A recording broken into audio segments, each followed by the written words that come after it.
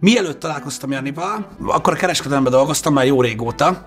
Um, suli utántól, tehát inkább azt mondom, hogy a középiskola végétől nekem folyamatosan volt mindig munkám. A legkézenfekvőbb nekem, amiatt, hogy mindig is ilyen tekib voltam, az az volt, hogy ilyen szórakoztató elektronika, kereskedelem, stb. ezzel foglalkoztam, hogy ezt valaki magyarul tudni akarja. Tévéket árultam, meg hifiket, meg minden olyan cuccot, ami jó. És emellé vállaltam egy másik munkát, és így, így sokáig párhuzamosan futott egymás mellett a kettő, úgyhogy egyszerre dolgoztam így a szórakoztató elektronikában, meg kicsit az informatikában, egy Apple viszont eladónál. Így tengettük az életet. Egyébként akkor azt mondom, hogy relatíve jól, mert így ahhoz képest, hogy ugye ö, ment az egyetem, azért ez így nagyon klassz volt, hogy így én közben dolgoztam, mint a gép. Ö, azt hiszem négy nap az egyik helyen, három nap a másik helyen, és akkor így ki tudtam tölteni a hét napot, és még így el is, el is tudtunk lenni. Beszélgettük akkor, hogy kell még egy diákmunkás oda be, és pont úgy jött ki a lépés, hogy Janiról tudtuk, hogy kicsoda, az akkori diák kolléganőmnek volt az akkori barátja. Ez egy nagyon furcsa történet, és talán azzal kezdenék, hogy amúgy én hogy kerültem közel a technológiához, meg az egész kamerás videóvágó sztorihoz.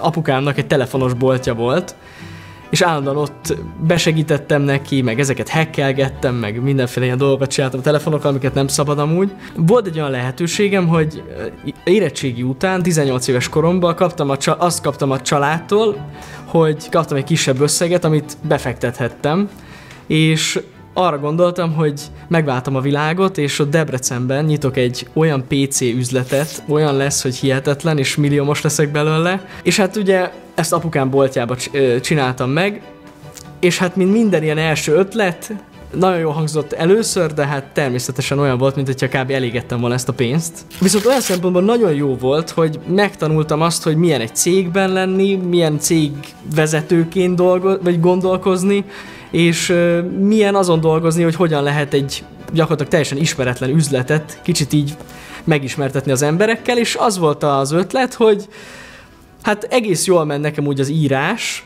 az volt az ötlet, hogy akkor írok telefonokról. És csináltam egy blogot, és így osztogattam meg ezeket a híreket, és azt vettem észre, hogy tényleg egyébként olvasták az emberek ezeket a cikkeket, viszont hát vásárlás nem történt, szóval amúgy az, a végső célt nem értem el.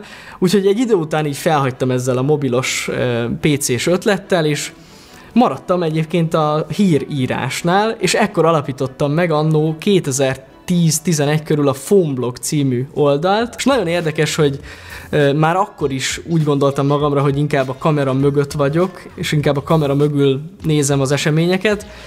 Egy középiskolás osztálytársammal csináltuk ezt a dolgot, és inkább ő beszélt, én pedig a kamera mögött voltam, és vettem fel ezeket a csodás jeleneteket, és ezután, miután az is már úgy egy félig meddig ment, az akkori barátnőm az iStyle-ban dolgozott, Pistiékkel, akkor találkoztam Pistivel először, mikor így mentem a barátnőm elé, hogy na Mizu van végez a melóba, és akkor Pistivel rengeteget beszéltünk mindenféle tech újdonságokról, és már hamar kiderült ez, hogy, hogy ő is ennyire nagyon rajta van ezen a témán. És aztán egy idő után úgy alakult, hogy nekem nagyon megtetszett az iStyle, és megüresedett egy pozíció ott náluk, és jelentkeztem rá. És, és emlékszem, hogy az akkori boltvezetőnek mondtam, hogy milyen kézenfekvő lenne egy olyan srácot alkalmazni, aki amúgy benne van, meg tudja, miről beszél. És az volt a furcsa felállás akkor, hogy Balázs volt az üzletvezető, Pisti volt az alkalmazott, én meg a diákmunkás ebben az üzletben, és együtt vittük a, a dolgot. És akkor elkezdtünk együtt dolgozni, és így, így több délutánt töltöttünk így együtt a boltban, így nyáron volt, hogy nem volt forgalom, stb. És így beszélgettünk dolgokról, nekem tetszett ez az egész dolog, hogy ezt a phoneblogot csinálja, meg tök menő, meg ilyenek, és így beszélgettünk technológiákról, meg mindenről, és hogy milyen durva lenne valami, egy, egyszer úgy elkapni valamit, hogy az elején. És ekkor találtuk ki azt, hogy mi lenne, hogyha mi is belekezdenénk valami hasonlóba, és onnan jött az ötlet, hogy megláttuk a Kickstarter-en ezt az Oculus Rift-et. My name is Palmer Lucky, and I'm a virtual reality enthusiast and the designer of the Rift emlékszem a beszélgetésre, hogy, hogy teljesen lesokkolódtunk, hogy ez lehetetlen, most felveszünk a fejünkre, és akkor benne vagyunk a játékban, tehát ez gyakorlatilag a next level. Ja, hát persze ez is kiderült hamar, hogy Pisti is nagyon szeret játszani. Úgy voltunk vele, hogy hát, kezdjünk el erről írni. Beszélgettünk arról, hogy mi legyen a neve. Azt tudtuk, hogy benne kell legyen az, hogy virtuális valóság, és hogy az túl hosszú, úgyhogy valami VR kell legyen és nem tudom, nem emlékszem már pontosan, hogy melyikünknek jutott eszébe, de azért kötöttünk ki ennél, mert hogy hogy úgy gondoltuk, hogy itt Magyarországon tényleg először fogunk ezzel foglalkozni, így mi lehetünk A. Nem kell egy legyünk sok közül, mert még senki se foglalkozik vele, úgyhogy mi leszünk A virtuális valóság. Csak nem tudom, ez valami ilyen végtelen gagyin hangzott, oké, okay? és akkor emiatt lett The VR igazából az egész. És így e- e- ez, ez lett a név. És majd valamikor 2013. júliusában döntöttük úgy, hogy vegyünk egyet. És megvettük az Oculus Riftet, és borzasztóan vártuk, hogy megérkezzen, és amíg megérkezett, már rajta voltunk, hogy itt rengeteg cikket kell írni, mert hát, hogyha megjön, akkor, akkor legyen már egy ilyen releváns újság, aki eleve rengeteg VR eh, hírt lehoz. Amíg vártunk ennek az érkezésére, akkor is e- láttuk azt, hogy ez az újságírás egyébként menő dolog, de az emberek nem szeretnek olvasni, és ott van, megjelentek az első ilyen komolyabb YouTube csatornák, ugye az Engadget-nek a YouTube csatornája, meg a The Verge akkor indult, nem, na hát nem sok, nem sok azelőtt, hogy mi elkezdtünk ezzel foglalkozni, és borzasztóan tetszett ez a jellegű újságírás, hogy a videóban beszélnek a termékekről, és úgy voltunk Pistivel, hogy hogy valami kellene, ami úgy elindítja ezt a YouTube csatornánkat, és akkor jelent meg szintén a Kickstarteren a Leap Motion nevezetű eszköz, ami egy ilyen olyan kis pici dolog volt, ami fölött így, hogyha lóbált az ember a kezét, azzal tudta irányítani a dolgokat a gépén. Megrendeltünk egy ilyen eszközt, az hamarabb jött meg egyébként, mint az Oculus Rift, és akkor uh, volt egy kedves ismerősöm, egy fényképész srác, akinek volt egy kicsit komolyabb gépe, mert mi továbbra is mondom, egyáltalán nem értettünk a kamerázáshoz, vagy az hogyan kéne egy ilyen videót felvenni, és tőle kértük kölcsön ezt a gépet, és vele forgattunk le egy ilyen kicsit komolyabb hangvételű Leap Motion tesztet. Ez volt az első ilyen videónk. Sziasztok, Fábián István vagyok, és ez itt a The VR. Ebben a videóban a Leap Motion kontrollert vizsgáljuk meg közelebbről. Ennek kapcsán csináltuk amúgy az, a leges-leges legelső videónkat az egész csatornán, azt még iPhone-nal vettük fel, ezt a szívdobogós, Leap Motion-ös hamarosan jön a teszt, mint hogyha bárki tudta volna, hogy mi ez egyébként. Nagyon vicces volt. De ezután úgy abba is maradt ez a dolog, mert hát ugye nem volt kameránk. Úgyhogy megérkezett az Oculus Rift, kibontottuk, csináltunk róla egy ilyen kis videót, hogy mi van a dobozban, hogy hogy néz ki ez az egész történet. És valahol itt, itt ennek a környékén csúszott el minden. Az az igazság, hogy valahogy meg kellett mutassuk ezt a dolgot. Tehát, hogy nem lehet erről csak írni, hogy hidd el, hogy olyan, mintha ott lennél, meg ilyenek, ez így nem jó. Tehát ez, ez, ennek semmi értelme nincs, és akárhány mondaton keresztül magyarázod, ez így nem lesz ütős. És arra beszéltünk, hogy valahogy ki kéne találjuk ezt a dolgot, hogy hogy legyen ebből valami, amivel megértik az emberek, hogy ez mi a tököm. Mert hiába magyaráztad, hogy látod 3D-be a cuccot, és ahogy mozgatod a fejed úgy fara, ez nem jön át. Úgyhogy kitaláltuk, hogy akkor erről valami videó kell. De hogy milyen videó, vagy hogy csináljuk ezt meg, hogy ez, ez átadja, ami kell. És akkor láttuk azt, vagy, vagy nem, nem is az, hogy eszünkbe jutott, hanem nyilvánvaló volt, hogy ez a gameplay formátum, amit már akkor csináltak többen a YouTube-on, hogy ugye látszik a fejed, meg az, hogy mit játszol, akkor ez a formátum tök jó lenne annak, hogy meg tudnánk mutatni, mi ez a VR. Kontentek nagyon okosak voltak egyébként erre a DK1-re, ez egy borzasztó minőségű VR headset volt, tehát alacsony felbontású volt, voltak problémái, és pont emiatt olyan demókat csináltak rá, amik úgymond takarták ennek a technológiának a, a hibáit. Tehát sötét. Nagyon jó az is. És nagyon intenzív demókat találtak ki rá, hogy ne lásd, hogy rossz, illetve hogy folyamatosan olyan feszült legyen, hogy ne figyelj arra, hogy nem jó még. Oh. És ezek voltak a horror demók. Azért csináltak ilyeneket, mert ezek nagy hatással voltak az emberekre, mindenki úgy jött ki belőle, hogy hú, azt a mindenit mit láttam, nem úgy, hogy hát azért még ide kéne valami. Ennek lett egy ilyen mellékhatása tulajdonképpen az, hogy mint kiderült, mert előtte nem tudtam, mert ugye a filmek sosem ilyen élmények voltak, ez intenzívebb annál, hogy valami végtelen mód fosok ezektől a dolgoktól én. Jézusom, szívrom rám jött! Itt voltam, ugye? Uh-huh. Igen? Voltál? Adod! Így megjelent mellettem. Hallod, Genyó? Fogom a kezem. Tiszta víz.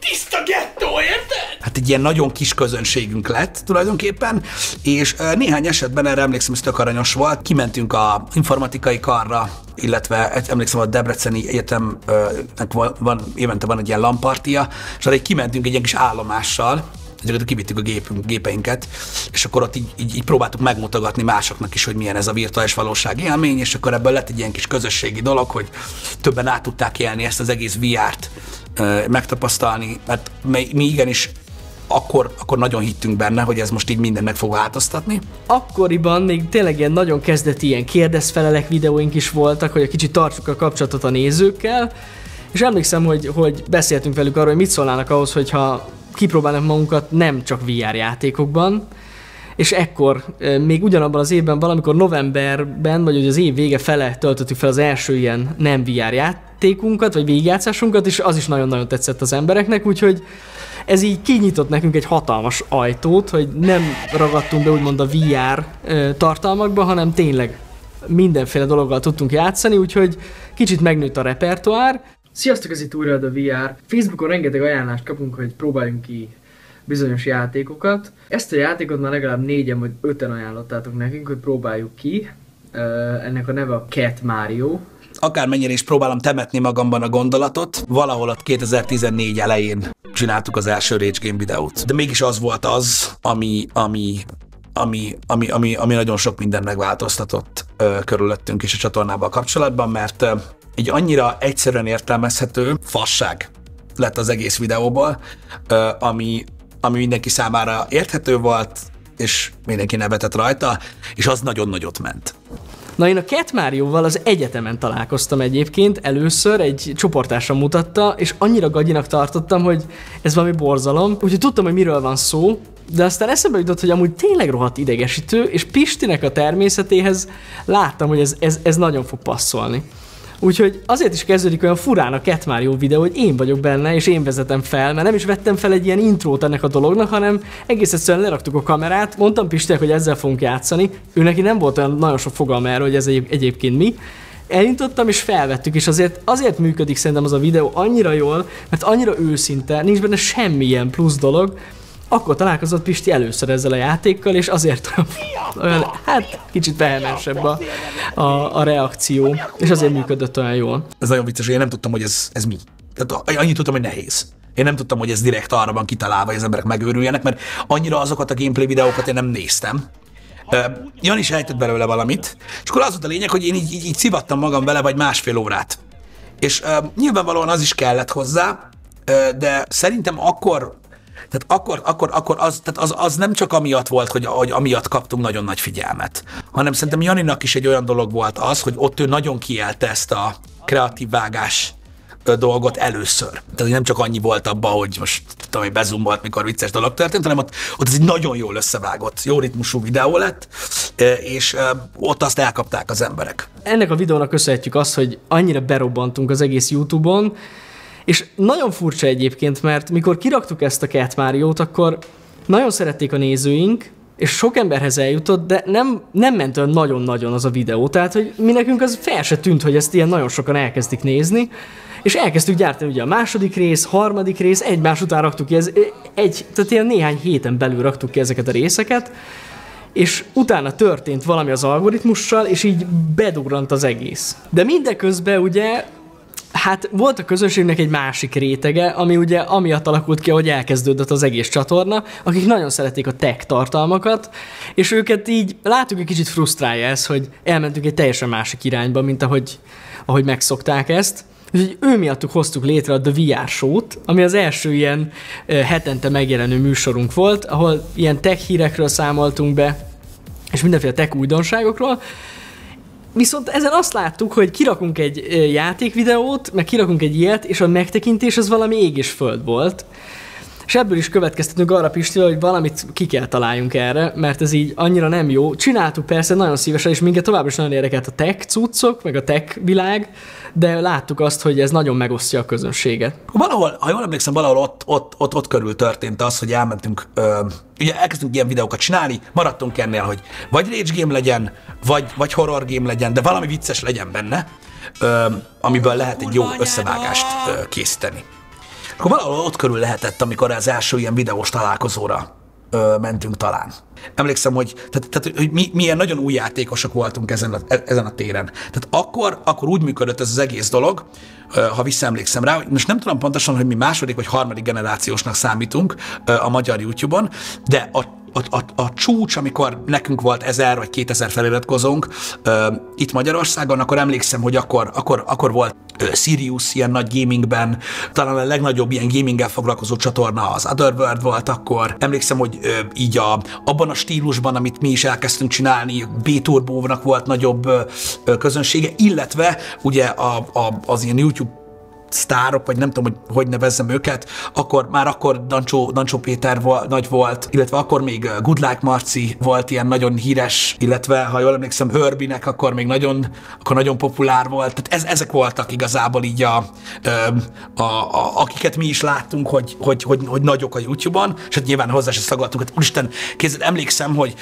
volt egy ugye videójáték konzollal nem foglalkoztunk, és akkor még, de szerettünk volna, és emlékszem, hogy, hogy, hogy Sirius, Sirius vagy akkor volt, volt még valaki, akivel csinálta, és együtt volt valami, valami, valami, valahogy a csatorna neve, és ők hirdettek meg egy nyereményjátékot, hogy azt hiszem Avermedia felvevőt lehetett nyerni. Viszont az első helyzet egy, egy Live Gamer HD Lite-ot kap. És uh, pályázni kellett YouTube videóval, és akkor még annyira kicsik voltunk, hogy mi neveztünk arra a versenyre, ahol nyilván nem nyertünk, de, de, de, de, de, de, de csak legyen egy perspektíva. És akkor tök durva volt, mert, mert, mert elmentünk erre az OVS Festen, ami, ha jól emlékszem, a Fanmade Maker Marcék csinálták azt a rendezvényt. De, de ki ezek? Nem is ismerem őket. Otherworld, Dancsó Péter. Van kutya. Dancsó Péter, az jó csávó. Patamc. Online Video Stars Fesztivál. Ez volt az első hogy találkoztunk a nézőinkkel. Nem is sejtettük azt, hogy, hogy ennyi embernek bejön ez a Cat Mario, meg ez a vonal, amit, amit viseltünk akkor. Rengetegen odajöttek hozzánk, és sose felejtem el, a, amikor az első ilyen papírt nyújtja át nekem a kisrác, hogy írjam alá neki, meg így néztem, most ez komoly, ne csináld már. És az első papírokat még úgy írtuk alá, hogy Komzsik János és Fábián István. Szóval nem tudom, hogy a néző, azok között a nézők között van-e itt valaki, de nagyon vicces, hogy ott még a rendes nevemet írtam alá. És azon a rendezvényen beszéltük meg Pistivel, miután már elég sokat így aláírtunk, hogy amúgy így lehet, hogy ez a nevünk nem mond senkinek semmit, úgyhogy írjuk már inkább úgy alá, hogy The VR Jani, meg The VR Pisti, és hát azóta írjuk így alá. De amúgy tényleg annyira elképesztő élmény volt az, hogy hogy oda jönnek, és ennyire tetszik nekik a, ez a dolog. Ott csináltunk ilyen szelfiket is a nézőkkel, még a mai napig megvan. Is, iszonyú, iszonyú durva érzés volt az egész, hogy most akkor úristen felismernek emberek, meg hogy, meg hogy tehát hogy nem is gondoltam, hogy, hogy, hogy már itt ilyen szinten ö, működik ez a dolog, meg hogy itthon is ilyen rajongó tábora lehet az embernek, meg minden. Nekem ez ilyen nagyon idegen érzés volt. A másik furcsa dolog meg az volt, hogy a többi youtuber tudta, hogy mi van. Egyből odajöttek, dumáltunk velük. Emlékszem, talán még Szala Istékkel ott találkoztam először. A VR-ral is találkoztunk. Egy, megyünk be, ott eszünk a, a Mekibe, és akkor így, így, így megjelennek ketten. És még néhány tartalomgyártóval, és tök durva volt, hogy tudták, hogy kik vagyunk. Szóval így, mert tudjátok, hogy Debrecenből, nem tudom, furcsa volt ez az egész nekem, és akkor, akkor, akkor úgy, úgy mi is átrendeztük egy kicsit így a, a, a, a sorainkat, és akkor az volt, hogy oké, okay, innen felindulva, vagy innen felbozdulva egyébként kitaláltuk, hogy hát amúgy lehet mi is tudnánk ilyet csinálni. De akkor kedvezzünk egy kicsit azoknak a nézőinknek, akik szeretik a tech cuccokat, meg ez az egész VR-os dolgot, meg amúgy is ez a VR téma, ez akkor nagyon ilyen trendi volt, és egész egyszerűen azt találtuk ki, hogy akkor csináljunk egy, egy, egy magyarországi VR rendezvényt, és ekkor találtuk ki, hogy megcsináljuk a VR D-t. Hú, ez így visszamenőleg amúgy ez egy nagyon durva vállalás volt a részünkről. Ezzel Jani foglalkozott sokkal többet, és akkor együtt kellett dolgoznunk több mindenkivel azzal kapcsolatban, hogy ezt megvalósítható legyen itt ugye Budapesten, rendezvényhelyszín bérelni, stb én most mondanám, hogy ez egy hatalmas falat volt ezen a pontján a csatornának, és az is volt. Én annyit tudtam hozzátenni, hogy én ott leszek, foglalkozok az emberekkel, kipróbáljuk a dolgokat, stb. És igyekszem úgymond így a jelenléttel meglenni. Egyébként tök poén volt, mert a rendezvényre külön póló volt, ami mindig egy csomó mindenkinek megvan, mert volt ugye többféle jegy, és uh, volt, amihez ott volt az a régi sötétkék cucc, és beszarok, mikor ezeket látom mai napig embereken, mert ez tényleg egy nagyon régi sztori. És ez volt az első esemény, ahova amúgy a szüleinket is bevontuk, a szüleimet is bevontuk, az én szüleimet, és ott segítettek nekünk egyébként, az embereket terelgették, meg engedték be, és ekkor látták meg, hogy mi a fene ez az egész, mert eddig el se tudták képzelni, tehát csináltuk ezeket a videókat, és egyébként már az egész korai munkásságunkat is követték, csak hát annyira a játékok nem vonzották őket, de például az apukámat nagyon érdekelték ezek a tech cuccok, szóval az, az a content az nagyon, nagyon izgalmas volt neki, de ez volt az a rendezvény, ahol először úgy szemtől szembe találkoztak ezzel, hogy megállítanak engem, és tőlem autogramot kérnek, és így gyakorlatilag láttam az arcukon, hogy nem hiszik el, hogy ez, ez, ez, ez, ez hogy lehet nagyon durva. És nagyobb volt az sokkal szerintem, mint, mint, mint amekkorák mi voltunk akkor, de nagyon-nagyon jól lettem úgy lebonyolítva, meg nagyon élvezték az emberek, arra emlékszem. Utána emlékszem, volt sörözés, ott a Dürer kertben, még aki ott maradt rendezvény után. Ezen a rendezvényen néhány barátom eljött segíteni, mint staff. Volt staffos pólójuk, és ott voltak, és egyébként Balázs is ezen ott volt, mint staffos ezen a rendezvényen má- már. Tehát ő akkor eljött, eljött, eljött segíteni nekünk, meg, meg ott volt tesó, meg mindenki nagyon durva volt, van egy pár ilyen háttérkép, háttérkép, ilyen háttérben készült kép erről a dologról, de lényeg az, hogy valami brutálisan volt megoldva. Én nem tudom most se, hogy, hogy ez hogy sikerült annyira faszán megcsinálni, ahhoz képest. Ebben az évben terveztél te meg egy nagyon kedves nézőnk az első mörcsünket, a pólónkat. Donátnak hívták a srácot, aki, aki megnyerte. Racsmány Donát! Ezzel a pólóval? Ezzel. És ez így... Ne, ez kurva jó. Ebben az évben még volt egy alkalom, amikor találkoztunk a nézőinkkel, ez az első Play It volt, amin részt vettünk, ez a ta, hát ez az évvégi novemberi Play It volt. Reggel 6 óra, nem tudom hány perc van. Majd nagyon reggel, pénteken. Az ott hó? Ja, ez hó bassza meg. Mondom, előttem olyan szinten volt zárva ez, a, ez az online szórakoztatás rész, hogy én, én mikor elkezdtünk YouTube-ozni, tudtam meg, hogy van ilyen, hogy Play It. Ö, és ö, megtudtuk, hogy oda a nagy YouTube celebek járnak, meg minden, és akkor emlékszem, hogy elhívtuk az első ilyen Play rendezvényre, és ö, már akkor is igazából ö, úgy, hogy emlékszem, hogy voltunk színpadon, mert ugye mit tudom, egy GameStar-nak volt saját színpadja, stb., ahol így a virtuális valóságról beszéltünk. Hát ez egy nagyon szürreális élmény volt újból. Nagyon korán érkeztünk oda, tehát annyira korán, hogy még Isten igazából a standokon pakoltak, de már Pistivel ott voltunk, mert annyira rá voltunk ott készülve, hogy na, ez most nagyon komoly rendezvény, ez a Play It. Itt nagyon keményen ott kell legyünk, úgyhogy minden a legnagyobb rendben legyen. Nagyon fura volt ez a 2014-es Play It, nem volt kitalálva ez a videós téma, tehát ez konkrét egy videós simogató volt, a, sokan szokták így csúfolni a play de ez a rész ez tényleg az volt. Tehát volt egy fal, egy ilyen fotófal, ami ott, ott voltak a szponzorok, meg a Play It logó, meg ilyesmi, és az előtt volt, kialakultak sorok, és akkor lehetett fotózkodni, meg aláírni, fotózkodni, aláírni, fotózkodni, aláírni, és ez ment. És ez is szintén egy olyan esemény volt, ahol Hát itt már egy, egy nagyon nagy tömeg volt, aki kíváncsi volt ránk, és egyértelműen éreztük ezt. nem tudtunk soha ö, megállni ezen gondolkodni. Annyira gyorsan történtek ezután a dolgok, így, így hogy, hogy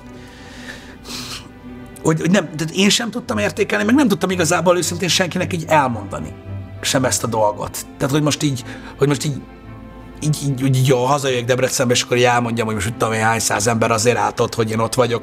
Én ilyeneken nem, ilyeneken nem, nem tehát meg sem álltam ilyeneken gondolkodni, nem is volt értelme igazából, nem is volt igazából kinek mondani ezeket a dolgokat, mert folyton azzal foglalkoztunk, hogy mi legyen a következő dolog, amit csinálunk, mivel foglalkozunk, stb. És így nem tudom, most is nehezen jut eszembe egyébként. Annyi minden történt. Mindezek közben minket folyamatosan frusztrált az a dolog, hogy nem akarjuk elengedni ezt a tech vonalat. Szóval tök menő, hogy játékokkal játszunk, de Volt egy része az embereknek, aki azt mondta, hogy nekik nagyon tetszenek az új VR percek, meg tekes részek, meg minden. Egy nagy lépést tettünk. Muszáj volt lépést tenni. Úgyhogy megcsináltuk a Tech csatornát akkoriban, a nyáron, és a Tech csatornára elkezdtünk ilyen tutoriál videókat gyártani a VR szemüvegekkel kapcsolatban, Jártek?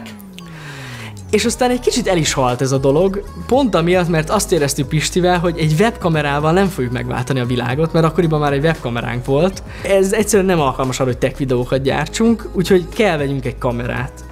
És ekkor ruháztunk be, nagyon-nagyon-nagyon hosszú idő után egy, egy cinema kamerába, ebbe a Blackmagic Pocket cinemába, ami az első komoly kameránk volt, és amúgy az első kameránk. Úgyhogy ez nekem egy ilyen nagyon durva mély víz volt, tehát soha nem, tehát még tükörreflexes géppel sem dolgoztam, és rögtön egy ilyen Blackmagic-en kezdtem el ö, az ilyen videós karrierünket csinálni, eszméletlen gagyi volt, ami visszamenőleg. Tehát ha megnézitek ezeket a ko- korai Blackmagic-es videókat, borzasztó. Úgy voltunk Pistivel, hogy az a lényeg, hogy homályos legyen a háttér. Mert hogyha homályos a háttér, az azt jelenti, hogy profi a videó, és úgy volt, úgy képzeljétek el, hogy hát ez egy panellakásban vagyunk még mindig, és hát volt, egy, volt, egy, volt a szobánk, és akkor így volt a nappali kint, ilyen kb. ilyen elalakba képzeljétek el, és az nappaliba volt a kamera, és mi a szobába ültünk, mert egy 50 mm-es obit vettünk arra a gépre, és nagyon messzire kellett menni, hogy benne legyünk mindketten. a frame-ben, úgyhogy oda mentünk, elindítottuk a, a felvételt, és akkor így oda sétáltam Pistivel, és akkor Pisti meg tudod mindig kérdezett, na elindult, biztos, hogy megy? Biztos, hogy forog? Megy minden, minden rendben? Mondom, hát, így innen? Szerintem igen. Azért volt egy pár baleset ezzel kapcsolatban, de, de vicces volt ez a, ez a sztori, úgyhogy így indult az egész, és így indult a tech csatorna. Miután megcsináltuk a tech csatornát, volt egy ilyen lehetőségünk, hogy rendeztek egy ilyen aranyvlog versenyt, ahol a youtuberek össze tudták mérni a tudásukat, és mi a tech csatornával neveztünk erre a versenyre, És ez egy közönségszavazás volt, és megnyertük. Tehát mi nyertük ezt a tech kategóriába, úgyhogy körülbelül négy vagy öt videónk volt akkor a tech csatornán, ezzel a csatornával nyertünk egy, egy ilyen ö, díjat, és ennek a díjnak az volt a, a fő nyereménye, hogy kaptunk egy nagyobb kupont, azt hiszem akkor az Extreme Digitálnál, és, és ráadásul még együtt is tudtunk velük dolgozni. Tehát volt egy ilyen lehetőség, hogy együtt dolgozhattunk vele, velük. És ez az a dolog, ami elindított minket egy ilyen komolyabb irányban, hogy együtt tudunk dolgozni az Extreme Digitállal, és tudtunk csinálni egy referencia videót, és innentől kezdve tényleg minden megváltozott. Ez az egész kereskedelem vonal, ez nekem megszűnt, mert ott, ott volt egy boltzárás, stb. Fura volt, mert utána már átmentem csak, hogy egy helyen dolgozzak, az az üzlet megszűnt, én itt maradtam, kb. két napig voltam munkanélküli, elkezdtem az IT szektorban dolgozni, így viszonylag gyorsan, akkor az IT Services-nél, akkor olyan munkám volt, amikor hétköznap dolgoztam, és akkor szombatonként így átmentem délelőtt, és akkor így délutánig vagy estig. Tehát a szombati nap volt az, amikor csak felvételeket készítettünk Janival, és akkor így a, a héten, tehát a, a következő héten így az egyik részét ő vágta, a másikat én. Volt egy nagyon érdekes e-mailünk, kaptunk egy e-mailt a GameStar-tól, akkor azt hittem, hogy a GameStar írt nekünk, hogy ő neki nagyon tetszik ez, amit csinálunk, és hogy szerintük ebben van lehetőség, és hogy beszéljünk már egyet telefonon. És ez, aki írt nekem, ő Faragó Krisztián volt, Krisz, akit szerintem így a csatorna életében sokan ismernek, és Krisz írt rám, hogy beszéljünk, és felhívott telefonon, és mondta, hogy ő tényleg úgy látja, hogy mi nagyon lelkesek vagyunk, és hogy ez tényleg nem egy vicc, meg ugye itt már volt egy referenciánk is. Itt találkoztunk egyébként Csatári Tomival is, aki azóta is a menedzserünk, úgymond, vagy a menedzsmentünk része, és velük kezdtük el kitalálni azt, hogy, hogy most akkor mi legyen, vagy mi ez az egész, amit csinálunk, vagy hogy ez egyáltalán egyébként eladható-e. Akkoriban, amikor velük először beszélgettünk erről az egészről, akkor egy ilyen vadnyugat volt a YouTube. Tehát úgy képzeljétek el, hogy, hogy itt, itt nem voltak árak, az, hogy mondjuk valaki, nem tudom, ö, 500 ezerért csinált mondjuk meg egy videót, most csak mondok valamit, valaki meg 50 ezerért, teljesen egy ilyen homály volt ez a dolog, és velük kezdtünk el kidolgozni, de főleg ők egy, egy standardet, ami arra ment rá, hogy mennyi megtekintés van egy videón. Mert akkoriban az ügynökségeket, még 2015-ös évekről beszélünk, az érdekelt, hogy mennyi feliratkozója van egy youtubernek. Tehát, hogyha valakinek 100 ezer feliratkozója van, akkor valószínűleg sokkal több pénzt lehet elkérni mondjuk egy márkától. Hiába nézték a kevesebb feliratkozós videóját, sokkal többen meg, ez nem számított. És ekkor kezdtük el tényleg ezt a megtekintés alapú árazást kitalálni, és ekkor áraztuk be a videóinkat, ami egy borzasztó fura érzés volt, hogy hogy árat adsz annak, amit te csinálsz, de hosszú távon megint csak azt tudom mondani, hogy ennek volt értelme, és nagyon jó, hogy ebbe belevágtunk, mert szóval kezdett az egész egy valóságá válni, és ez az év, a 2015-ös év arról szólt, hogy hogyan tudjuk megalapozni azt, hogy mindketten Pistivel csak ezzel foglalkozzunk. Annyit tudtunk, hogy valamit kell csináljunk most már ezzel a ezzel, a, ezzel az egész helyszín dologgal, mert nagyon kevés a hely, egyre több cuccunk van, próbáltunk komolyodni, így eszközök, meg minden ö, tekintetében, és akkor jött az, hogy Janinak jött egy ilyen szituáció, hogy a szülei elköltöztek, és ott maradt ebben a lakásban, és azon gondolkodtunk, hogy várjál, akkor ezzel lehetne valamit kezdeni, és igazából ez az ő részéről volt egy ilyen borzasztó nagy áldozat, abból a lakásból, ami állt egy, egy kisebb szobá, két kisebb szobából, egy nappaliból, meg a konyhából, öm, ahol amúgy, ö, tehát hogy ezután az egész esemény után úgy volt, hogy, az, hogy a barátnőjével ott fognak lakni. É, ez így is volt, csak hogy az ő életterükből úgymond elveszik az egyik szobát, meg az egész nappalit, és hogy az legyen a, a stúdió, és ők ott el lesznek egy kis szobába, meg a konyhába, és így lett. És mivel adott ez a lehetőség, így új burkolat került a padlóra, meg ki lett festve ilyen szürke-fehérre, emlékszem, azt mit csináltuk. Hát az nekünk baromi nagy előrelépés volt ahhoz képest, hogy ugye a, a, az egész videózást, ugye mi ilyen egy iPhone-nal kezdtük el, és akkor ilyen USB-s lámpa volt dugva a billentyűzet USB-jébe, és az világította meg az arcomat. Ilyenek. Visszaemlékszem most, ez egy ilyen visszakanyarodás az elejére, hogy voltak olyanok, hogy ültünk Janival így egymás mellett, a, még a narancssárga szobába, és akkor a, ugye az asztala mellett voltak az ágya, akkor az ágyán volt egy Logitech kormánydoboz, azon egy másik valami mikrofonos doboz, azon pedig egy cuppantós autós tartón volt egy iPhone, és egy ilyen nagyon erősen világító kerti lámpa volt a szoba másik oldalába, és akkor ez volt az állvány, a világítás, mi meg ott ültünk és így dumáltunk. Szóval nagyon-nagyon-nagyon-nagyon-nagyon ilyen elbaszott módon csináltuk a videókat, mert abból azzal csináltuk, amink volt. Ez, ez képest azért nagyon nagy ugrás volt most az, hogy lett dedikált kamera, meg minden. Eljutottunk odáig, hogy tudtunk már olyan videókat csinálni, amiket így nem az, hogy el lehetett adni, csak érdemes volt foglalkozni vele így tech szempontjából is, meg ugye a gameplay videóknál is, hogy elkezdtünk a webcamot használni, minden, és akkor minden szépen lassan egyre-egyre jobb lett, de egyébként szerintem ez megmaradt a csatornán abszolút, hogy így, így mindig igényesek voltunk arra, hogy hogy néznek ki a dolgok, azon voltunk, hogy bármi pénzt keresünk a csatornával, mindig egyre jobban, jobban, jobban, jobban próbáltuk csinálni több cuccal, hogy jobb legyen a hang, jobb legyen a kép, tehát hogy valami legyen, hogy, mindig faszá legyen a nézőknek nézni a dolgot, hogy minél komolyabban vehető legyen ez az egész. Itt az volt a durva, hogy itt egybefésülhető volt, ha jól emlékszem ebben az évben, elértük a 100 ezer feliratkozót, amivel kapcsolatban ugye készültünk dolgokkal, meg minden, meg hát ez valami eszméletlen nagy dolog volt nekünk, hogy úristen, de sose gondoltuk volna. Hát emlékszem, hogy amikor elkezdtünk videózni, akkor a legnagyobb csatornák ilyen 100 50-60-70 ezer ö, feliratkozó körül voltak, emlékszem, mondom, akkor így ö, még talán Szirmai Gergő volt, akinek ilyen sok feliratkozója volt. Egyre többször próbáltunk, úgy, vagy ö, jöttek együttműködések, amikből tudtuk ugye fejleszteni a csatornát, mert addig annyi volt, hogy nyilván saját pénzből próbáltuk fejleszteni ö, a dolgokat, meg visszaforgatni azt a keveset, amit kerestünk belőle.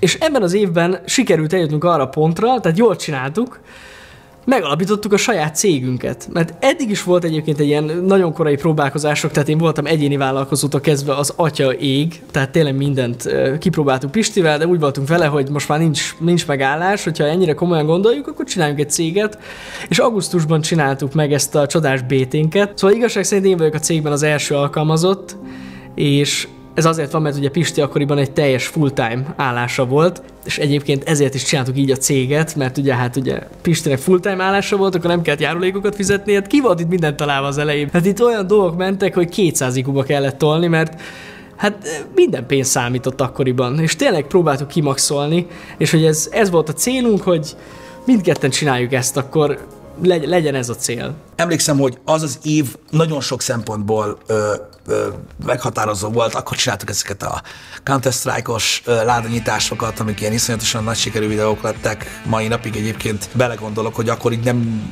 nem, nem értettem, hogy, hogy ez miért ennyire durva, de utána persze láttam, hogy ez hogy zajlik külföldön, és utána megértettem, hogy atya ég, oké, ez ilyen nagyon durva, de már akkor is koncentráltunk arra, ez nagyon fontos, mint a Rage videóknál, hogy ezekből nem szabad sokat. Három, négyet, vagy kettőt, hármat csináltunk belőle, addig lesz nagyon ütős, ha ezt, ha ezt tovább húzott gagyi. Tehát azért néhányat csináltunk ezekből a dolgokból, és ilyen nagy pukkanások voltak a csatornán ezek a dolgok, amiket arra használtunk fel, hogy a többi dolog, amit folyamatosan tudunk ugyanazon a szinten csinálni, minél több szem elé kerüljön.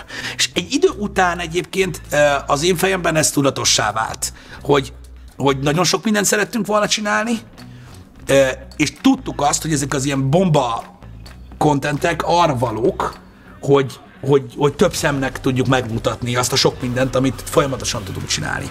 Úgyhogy a részemről volt ebben tudatosság, hogy ne csináljunk túl sokat belőle, de ezzel fogjuk vonzani az embereket. És ez működött az elejétől kezdve. Ekkor történt az első utazás, ami nagyon fura volt, mert sajnos csak én tudtam elmenni erre. Ez egy Gamescom-os rendezvény volt, ugye Németországban, az 576 kilobájttal mentünk ki együtt, tehát az alkalmazottak is ott voltak velünk, nyomorogtunk a buszban, ott volt velem a Game Day iroda, IMI, ugye a Day iroda akkor nagyon pörgött a, a csatorna, és együtt mentünk. Amúgy egy nagyon jó élmény volt az az egész. Ez volt az első olyan, hogy tényleg hogy mondjam nektek, kicsit komolyan vettek minket, és, és, és egy ilyen lehetőséget biztosítottak nekünk. Itt emlékszem, hogy, hogy ez volt az az év októberében, amikor, amikor úgymond minden előtt. Mindig próbáltunk mondom minőségben, mindenben egy kicsit így törni az utat, nem a magyar YouTube-on, hanem a saját fejünkben. Minden, minden fejlesztés, minden törekvés, minden előtt megkérdeztük, hogy minek, és ha megkérdeztük, hogy minek, akkor de azért, csak azért, mert. Úgyhogy itt októberben léptünk 4K-ba, aminek nem volt semmi értelme, senki sem csinált 4K-t, A 2015-ös playtek azért voltak nagyon fontosak, mert itt tudtunk a kollégákkal először úgy érdemben beszélgetni. Sose fogom elfejteni Zsozéval a találkozást. Akkoriban ő még nagyon-nagyon a videózás elején járt. Tehát, ha jól emlékszem, akkor mi akkor találkoztunk először Zsozéval, aki, mi- amikor még nem is mutatta az arcát. Mert volt egy időszak, amikor nem, nem mutatta szándékosan, és ekkor úgy összefutottunk vele, beszélgettünk, hogy ez milyen ez, neki ez az egész, és még külön a pléten kívül is találkoztunk vele, és valamikor az éjszaka közepén elmentünk valami, én nem tudom mi volt az valami, ilyen, ilyen, ilyen biliárdterem-szerű valamibe, így inni egyet, dumáltunk ott vele, hogy akkor derült ki nekem, sose felejtem, lesokkolódtam, amikor mondta, hogy gyerekei vannak, és én meg így mondom, mi neked, hagyjad már, biztos kamuzol, és kimutatta a tetkóját, hogy amúgy de, tényleg, mondom, jó, oké, akkor nem, ezt nem hiszem el. azért volt nagyon meghatározó dolog a Zsozi atyával találkozni, mert ő volt, a, ő volt az a srác a, az én szememben, hogy kicsit úgy éreztem, hogy nagyon hasonló hozzánk. Nem, nem, nem tartalomgyártásban, mert mi mindig ilyen nagyobb keretben láttuk a dolgokat, de hogy ő is olyan volt, hogy amúgy nagyon rendes, nagyon normális srác, aki nagyon extrém hülye tudott lenni a videóiban, de, de úgy, hogy én, én úgy éreztem mindig az ő tartalmán, hogy egy, egy kicsit így átlátok azon, hogy tud, tudtam, hogy ő nem ilyen. Tehát, hogy okos, nagyon okos gyerek ő, és tök jó volt találkozni olyan arccal, tudod, hogy így, hogy így átadtam az meg, hogy, hogy, hogy, hogy, hogy ő, is, egy, ő is kicsit ilyen hasonló gondolkodású, és nézd meg, ő is hol jár. Tehát azért, azért szerintem az első három-négy ilyen megörülős, állatkodós, extrém, káromkodós, obszén szarságból, amit csinált ő vagy mi, Szerintem senki nem gondolta volna, hogy, hogy, hogy, hogy, hogy tíz év után mi lesz, és hogy ő is hol fog tartani. Nem tudom, valahogy volt, nekem mindig volt egy ilyen, egy ilyen vékony kapcsolat azzal, hogy, hogy mindig, mindig azt láttam, hogy ő is nagyon komolyan veszi egyébként ezt a dolgot. Ha jól emlékszem, de lehet, hogy majd kiavít úgy is, ekkor ebben az évben találkoztunk először Nessájjal is, egy Playten, és hát az, az, is, az is nagyon jó volt, mert egy kalapban volt, egy ilyen nagyon furcsa pólóban, és így egymásra néztünk Pistivel, és mondtam Pistinek, hogy nézd mekkora hippi, hallod? Ilyen nincs a világon, ilyenekkel találkozunk, nem hiszem el. És sose felejtem el, és ne haragudjon érte, de az első dolog, a, a, amit észrevettem, az az volt, hogy lyukas volt a pólója. És azt néztem végig, és azon gondolkoztam, hogy hogy jött te lyukas pólóba play-re? Hát biztos nem vette észre. És amúgy szerintem azóta se tudja. De, de, de ez volt az első benyomásom. Ettől függetlenül viccen kívül utána nagyon sokat beszélgettünk, és azóta is tart ez a barátság. Azért néhány mondat után rájöttünk arra, hogy azért Nessai egy nagyon jó arc, nagyon intelligens srác. A mai napig egy, egy nagyon fontos szereplője a csatornának, ha így mondhatom. Úgyhogy, úgyhogy tök jó volt, hogy ekkor tudtunk találkozni vele, és ezért voltak fontosak ezek a 2015-ös playtek. Az utolsó plate, amin voltunk, az Hung Expo-s plate volt, és emlékszem, az, ak- akkor, akkor, akkor nagyon népszerű volt a csatorna. Rettenetesen sokan jöttek oda miattunk. És um, nem csak miattunk, de akik szerettek volna velünk találkozni. És megnyitották ezt a dedikáló sort. Ugye megvolt ott a program, hogy hogy, hogy alakul ez az egész dolog. Emlékszem minden? Erről vannak ilyen szürreális képek egyébként, ha jól emlékszem, ha sikerül megszerezni őket. Ugye ezt úgy képzeljétek el, hogy az aláíró asztalunk, ahogy volt, ott így kialakult egy sor, ami volt ez a, ez a hatalmas része a Hung Expo-nak, ahol ez volt, és ugye a Hung Expo ment tovább. Így végig hosszan. És ugye ez a sor, ez végig tartott a legvégéig és a rendezvény egy ilyen egy óra dedikálás után megállt. Abból a szempontból, hogy a középén, közepén kialakult egy olyan vastag sor, ami lehetetlené tette a kijárás, bejárást, a, meg a vízkijáratokhoz való hozzányúlást, meg az egész így vastagon egy sor volt középen, tehát nem lehetett haladni. Szürreális volt. És az a lényeg, hogy valami hat körül volt vége ennek a play akkor, vagy hét, a faszom tudja, hogy mikor, és egy valami végtelen mennyiségű ember volt ott, aki közölte, hogy Tatabányáról jöttek, meg a halál tudja, hogy honnan, és itt vannak 9 órája, vagy 8 órája, és, és, és, és hogy, hogy, hogy, nem tudtak eljutni oda hozzánk. De végül az lett, hogy ugye kimentünk ezzel a, ezzel a nagyon sok emberrel a parkolóba, és akkor emlékszem, hogy valami este 10 vagy fél 11-ig, a, ott a végén már sötétbe, egy ilyen embergolyó közepén befejeztük a, a dedikálást, meg ilyeneket. Utána emlékszem, bementünk a városba, vagy két-három youtuberrel is sört inni. Én nem is emlékszem, hogy ittam sört. Arra emlékszem, hogy valami kocsmában voltunk, amit Pesten annak hívnak, hogy ilyesmi, meg arra, hogy zsibbad. Hallom most is, hogy zsibbad a fejem. Lényeg az, rettentő sok minden történt 2015-ben, nagyon sok mindent ledobtunk magunkról, ami, ami engedte a szabadságot abba az irányba, ahogy mi szerettük volna vinni, meg nagyon sok mindent sikerült elérni, amiatt a hirtelen jött népszerűség. Tehát a, a hirtelen népszerűségnek volt köszönhető az, hogy gyorsan tudtunk nagyon sok minden belőle lépni ebbe az évben. Szóval elérkeztünk 2016-hoz. A 2016 az egy legendás év. A 2016-os év. Hú, az meg, na az, az valami iszonyatos volt. Én komolyan mondom, azután úgy éreztem magam, mint akit így nem tudom, kiraptak a kukába, csak előtte még meggyújtották, hogy én nem tudom. Abban az évben annyi minden történt, szerintem az volt a legdurvább évünk, szerintem senki nem fogja tagadni, hogy, hogy 2016 az az, az elmebaj volt. 15-ben elértük a 100 ezer feliratkozót, és egyébként évvégén el, elértük a 200 ezeret is. 16-ban, áprilisban már 300 ezer feliratkozónk volt, szeptemberre már 400. Tehát itt, itt, itt iszonyatosan gyorsan ö, nőtt minden, el, el, elképesztő durva volt. Azt se tudtuk, hogy mit csináljunk, ö, de éreztük azt, hogy itt most valami lesz. Tehát, hogy ennyire gyorsan nem nőne ez a dolog. És ez volt az az év, amikor én elkezdtem gondolkodni azon, hogy lehet, hogy lehet, hogy lehet, hogy lehet, hogy most már fel kéne adni a munkát, vagy legalábbis meg kéne próbálni, mert talán most már, most már lenne esélye. Ugye akkor már három éve csináltuk ezt a dolgot, óriási nagyot nőtt a csatorna. Az év eleje környékén elkezdtünk gondolkodni rajta, hogy itt YouTube-ból volt már jó bevétel, és hogy talán, talán tudnánk valami, valami fizetést kitalálni magunknak ebből az egészből. Természetesen az élet ilyenkor kezdi el lehúzni a slicét és elővenni a meglepően hosszút. 2016-ban történt valami a YouTube-bal, és teljesen megváltozott a működése. Akkoriban elég sok botrány volt ezzel kapcsolatban, hogy olyan tartalmak előtt jelentek meg reklámok, amik hát nem voltak túlságosan szalonképesek. Értem szerint a cég, cégek nem örültek ennek, és a YouTube ezt annyira komolyan vette, és annyira féltek ugye, hogy elmennek a reklámozók, hogy nagyon szigorúra vette az egész algoritmust, és az egész gaminget shadowbannolták, úgy ahogy van. Ezt persze nem mondták ki azóta sem, de nagyon lecsökkentek a megtekintések ebben az évben. Nem csak nekünk, tehát ez egy globális dolog volt. Ami kurva szar volt, őszintén megmondom, mert ugye volt egy jó YouTube bevételünk, amivel amivel mi tervezés szinten ugye már előrébb jártunk agyban, hogy ez mire lesz jó, vagy mire nem lesz jó, ami így úgy nézett ki, hogy ebből így nagyon komolyan lecsapnak, és itt gigagebasz van. Tehát összedől a rendszer. Én akkor, akkor a British Telecomnál dolgoztam, és szóltam ott, hogy, hogy valószínűleg ez így jobbos lesz, ö, ez a dolog, és mondták, hogy megértik, és gondolták, hogy el fog jönni ez az idő, de emlékszem, hogy a nyár eleje volt, amikor, amikor szóltam, hogy akkor én leléptem, és pont úgy időzítettük, hogy, hogy áprilisban, ha jól emlékszem, az 576 kilobájt együttműködéssel együtt kaptunk egy lehetőséget, hogy kimehetünk az E3-ra. Nekem ez akkora vágyam volt, ez hogy szörnyű. És emlékszem, hogy Jani meg is kérdezte, hogy, hogy hogy me- menj- menjünk, vagy ez jó, ez nem menjünk, vagy most mi van ezzel, hogy megéri, vagy nem tudom. Én nem tudom, én, én emlékszem, hogy mint egy ilyen mérgezett macska olyan voltam, vagy egér. Tehát, hogy én csak azt láttam szemem előtt, hogy mehetünk az E3-ra. De nem érdekel. Nem érdekel, mit kell csinálni. Levetkőzök, nem baj, engem nem izgat, én oda menni akarok. Mindenféleképpen.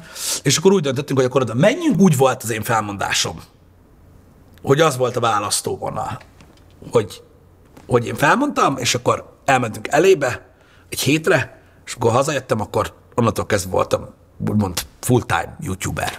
A Los Angeles út több szempontból is borzasztó eh, pozitív, és eh, szerintem hát egy alapjában változtatott meg minket. Annyira, annyira fontos volt az, legalábbis számomra mindenképpen.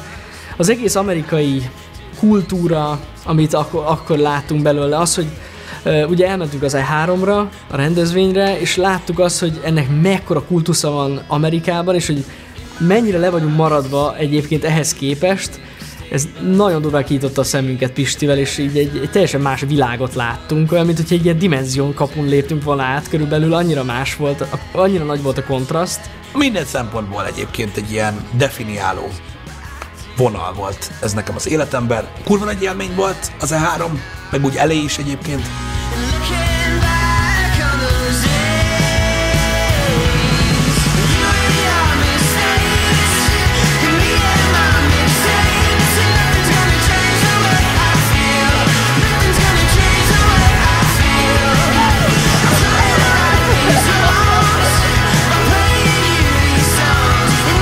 De fértem, vagy nem fértem be, akkor az anyád érdekel.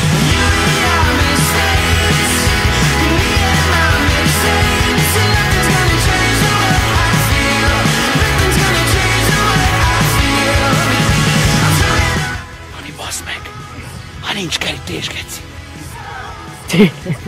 Arachnid, bazd meg! Ott van. Dick, Dick, tetja! Megnézd hozzám! És ennek örömére kezdtük el kitalálni, vagyis jutott eszünkbe, hogy amúgy ez a vlogolás nagyon menő. Ezt nagyon szeretik az emberek nézni. Mi lenne, hogyha csinálnánk egy ilyen itthoni vlogot? És akkor kezdtük el csinálni ezt a heti vlog című dolgot, ami egy hetente jelentkező műsorunk volt, ami egy ideig működött, nagyon szerettük eleinte csinálni, és akkor abban az évben annyi helyre eljutottunk, meg annyi helyre mentünk, megcsináltuk azt, hogy a saját nyaralásunkat is levlogoltuk, Pisti például elment a Balatonra, ott is csinált felvételt, én közben itthon voltam, dolgoztam, akkor azt vlogoltam. A sok utazás és eh, minden, minden közepette pedig azon gondolkoztunk Pistivel, hogy mi, mi lenne, ha kipróbálnám magunkat egy ilyen kicsit komolyabb, kicsit hosszú formátumú tartalomban, ami kicsit több háttérmunkát igényel. Megcsináltuk az első komolyabb projektünket, az Escape the VR-t, ami most nyilvánvalóan olyan visszanézni ezekre a tartalmakra, hogy hát most értetek, így ránézek, és így látom, hogy ó, igen, olyan, amilyen. Az, azt találtuk ki, hogy mi lenne, hogyha csinálnánk egy ilyen, egy ilyen valamilyen szabaduló szobás cuccot. Akkoriban nagyon mentek ezek a szabaduló szobák, egyébként a mai napig is mennek, de akkor nagyon trendik voltak, és az akkori YouTube partnerünk, a YouTube MCN-ünk segített nekünk ennek a szervezésében, felkereste különböző szabaduló szobákat, és ugye az volt a gond, hogy a szabaduló szobák nagy része azért nem olyan jó, hogyha leszpoilereződik, hogy mit kell csinálni. Úgyhogy amiben mi voltunk, például a Madness, ami ugye az első rész, az, azt Ausztriában vettük fel, Bécsben, és azért tudtuk azt úgy egy az egybe felvenni, mert akkor utána azt elbontották. Szóval pont úgy jött ki. Akkor volt az egyiptomi rész, azt pedig teljesen átalakították, miután mi ott voltunk. Úgyhogy pont úgy jöttek ki ezek a részek, tök szerencsénk volt, hogy ténylegesen meg tudtuk mutatni az egész szabaduló szoba élményt, és nem spoilerezte el az embereknek a, az egész történetet. Ez volt az egyik legnagyobb kihívás számomra akkoriban. Jani nagyon kielte a kreatív dolgait, ugye ő is, ahogy telt az idő, egyre ügyesebb volt a vágásban, meg minden, az már kicsit olyan volt, mint a filmet csinál, persze nem. És akkor arra csináltunk ilyen exkluzív vetítést. Há, azt hiszem három vetítés volt, és moziba meg lehetett nézni. Az egy felejthetetlen élmény volt, mikor beültem a mozi tér, tudod, a moziba a nézők közé. Tehát, hogy azt szerintem más vágó se nagyon tud olyat csinálni, kivéve, hogyha nem olyan, hogy elmegy mondjuk vetítésekre, de azt kétlem. De tudod így, leültem az emberek mellé a moziba, elindult a, a videó, és a, élőben hallani a, a nevetésüket, tudod, a reakciókat, az valami, tehát a hideg kirázott most is, hogyha rágondolok, annyira jó volt, és én nagyrészt nem is a filmet néztem a, sorok, a sorban, ahol ültem, hanem az embereket néztem, tudod, hogy, hogy mi a reakció, hogy az arcukat tudod, néztem a sötétbe, hogy na most, meg tudtam, hogy most jön valami nagy poén, akkor na most nagyon fognak röhögni, úgyhogy az egy nagyon-nagyon jó élmény volt így átélni. Mit akarsz mondani? Szerintem mi a mozis vetítés, ezért üdvözöljük a moziban az embereket. Külön, itt is. Hát ez fantasztikus, bász. De Úgy ez, kezdjük, hogy i- sziasztok, ez durva, de VR. ez igen. Ez mindenki. Volt nekem egy vízió, hogy én nagyon-nagyon szerettem, amellett, hogy elkezdtük ezt csinálni a videójátékokat, és én mindig szerettem volna elvinni abba az irányba a csatornát, hogy legyünk egy komolyan vehető videójátékos csatorna, ne csak olyanok, tudod, akik a couch gaming, vagy coop, de, mindig a vicces, meg mindig, mindig a szórakoztató tartalom, hanem akit érdekel a gaming komolyan, azok, azoknak is lekötni a figyelmét. Nem ezért lett a Twitch. A Twitch azért lett, mert kellett a gamingnek egy olyan talp, ami a YouTube már nem volt. Ott, ott egy nagyon nagy válaszút elé került a csatorna. Vagy csinálunk ö, ugyanilyen videókat továbbra is, plusz mellé csinálunk ilyen nagyobb volumenű, ilyen nagyobb ö, forgatásigényű videókat, mint az Escape the VR, tehát ez volt az egyik út, a másik út meg a Twitch. És hát ugye a Twitch-et választottuk utólag, A fene se tudja, hogy jól döntöttünk-e, amúgy szerintem jól döntöttünk. Azt is akkor is, amikor megint, mint ahogy hogy mindig is, megkérdeztük a nézőket, hogy mit szólnának ahhoz, hogyha ha lenne folyton stream. Gondolkoztunk most a livestream után, hogy lehetnének egyébként alapvetően változtatások a csatornán, attól függ, hogy ezt mennyire szeretnétek. Ez megint rajtatok fog múlni amúgy.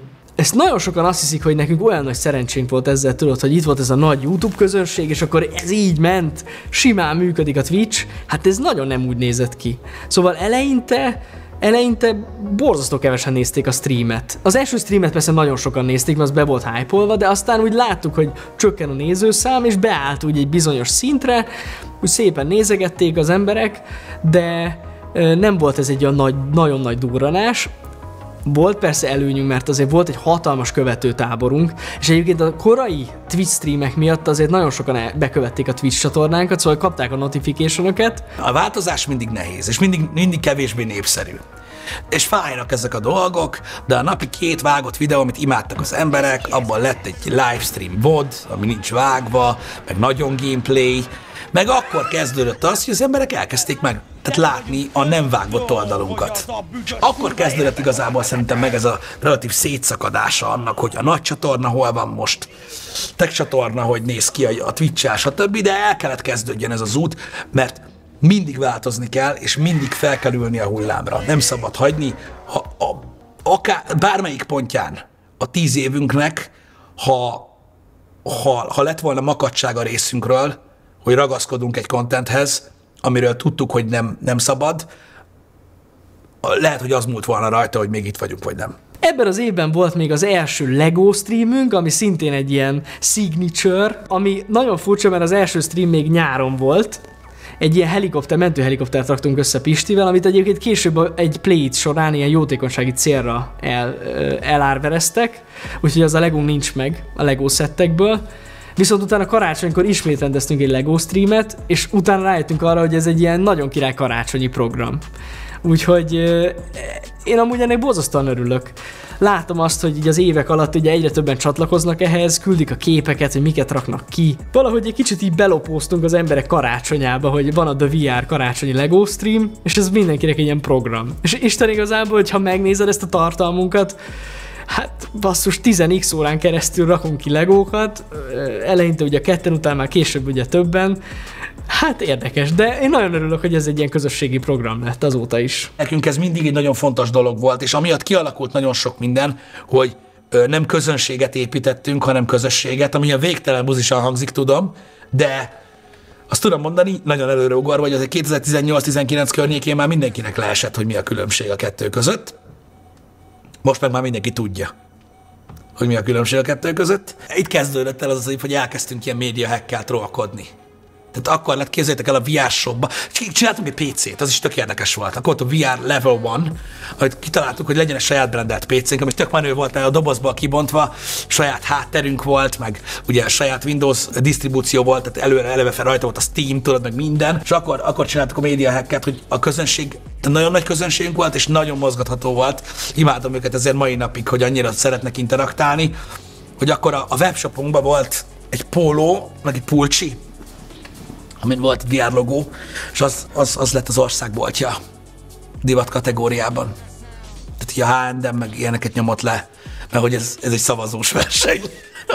és, és akkor, akkor, akkor, akkor rájöttünk arra, hogy ez így nagyon, ez így nagyon menő volt egyébként, meg, meg iszonyat. Így a következő években csináltunk még ilyen elmebajokat. Ebben az évben megtörtént az, amire soha nem számítottunk volna, és ez most nem reklám, ez nagyon fontos, ezt el kell mondjam, de megkeresett minket a Coca-Cola. És ez valahogy, ez, ez olyan szintű volt, mint egy atomrobbanás. Tehát, hogy, hogy, hogy komolyan a Coca-Colával fogunk együtt dolgozni, azért ez egy nagyon durva cég, egy nagyon komoly cég. Miért érdekli egy ilyen céget az, amit csinálunk? Teljesen irreleváns volt ez a dolog. És amikor először találkoztunk velük, és aláírtuk a titoktartási szerződést, meg mindent, már attól is beszartunk Pistivel, azt tudod, így gondolkoztunk, hogy most akkor ez ügyvéd is kéne? Vagy most mit írunk vajon alá? Há, mindegy, írjuk alá. Amúgy lehet, hogy azóta is tudod, hogy titoktartás, és elmondok itt most mindent, aztán holnap visznek a börtönbe. és itt volt ez a Dárdai is együttműködésünk, amit, és én itt most mindenkitől elnézést kérek, így utólag is, de mi a legjobb tudásunk szerint próbáltunk élni ezzel a lehetőséggel. Nagyon nagy volt a felelősség rajtunk, kaptunk segítséget, de próbáltuk ezt a foci nagyon élni, és annyira, amennyire nem értünk a focihoz, hát, tehát így felzárkózni hozzá, és igyekeztünk úgymond helytállni hogy, hogy méltók legyünk erre a feladatra, hogy ugye Dárdai Palival tudunk beszélni, mai napig egyébként egy nagy élmény, és egy, egy nagyon jó emlék nekem ez egy működés, mert ez egy nagy feladat volt, mert kár lett volna úgymond így elgagyizni ezt a dolgot, de mi nagyon igyekeztünk kihozni belőle a maximumot. Ez is egy olyan dolog volt, ami azért felnyitotta jó néhány cégnek a szemét a YouTube-bal kapcsolatban is, hogy komolyan vegyék, meg velünk kapcsolatban is. Ha más nem, a 2017-es év az nagy tanulság volt. Ez nem volt annyira elmebeteg év, mint a 2016, abból a szempontból, hogy mennyi új dolog történt velünk, abból a szempontból volt elmebeteg év a 2017, hogy mennyi mindent csináltunk, illetve hogy hogy hogyan, hogyan voltunk a nyilvánosság előtt. Legalábbis én így érzem. Öm, azt tudom, hogy abból a tehát tartalom szempontjából a 2017-es év az azért meghatározó, amit akkor nem tudtunk, hogy akkor kezdtük el a reggeli műsort csinálni. Emlékszem, hogy jött egy ilyen hülye ötletem, hogy milyen vicces lenne, hogyha élőben beszélgetnénk egy kicsit a közönséggel, és elkezdenénk egy picit boncolgatni a vágatlan részét annak, ami nem gaming a csatornán. Megbeszéltük Pistivel 2016 év végén, hogy e- indítunk egy ilyen reggeli műsort. Én nem örültem neki, mert korán kellett hozzá felkelni. amúgy igen, mert e, ezt nem tudják sokan, de Pisti 9-re járt amúgy hozzám az irodába. Fél órába vissza kell tolni, mondta Pisti fél kilenctől kezdődjön, mondom fél kilenctől. Tudod, hogy az milyen korán van Pisti? Hát fél kilenckor még alszok. Ilyen nincs ilyen. És akkor, akkor indult a, a happy hour évelején, az emlékszem, az első száz részben, nem tudom, egyedül voltam, és akkor utána folyamatosan bejött Jani. Ott volt Jani mindig, csak nem látszott, és utána bejött Jani, és az egész evolvált oda, ahova, de itt, itt, itt kezdődött el. A kezdeti terv az volt, hogy 2017-ben 200 happy hour-t meg kell csináljunk. Ha nincs meg a 200 happy hour, akkor az ott valami rossz. És ugye felül is szárnyaltuk, és hát azóta már 1400 plusz happy hour járunk, úgyhogy sikerült a terv, és azóta is még mindig olyan korán van, de hát ezzel nem tudunk változtatni, ez, ez most már beékelődött, ez a fél kilenc. Itt még volt egy ilyen érdekesség, ezt még a 2016-os évnek köszönhetjük szerintem, hogy meghívtak minket, illetve Pistit jelölték az év embere díjra, a Playboy, Playboy Man of the Year eh, 2017 YouTuber kategória nyertese Fábián István István Diák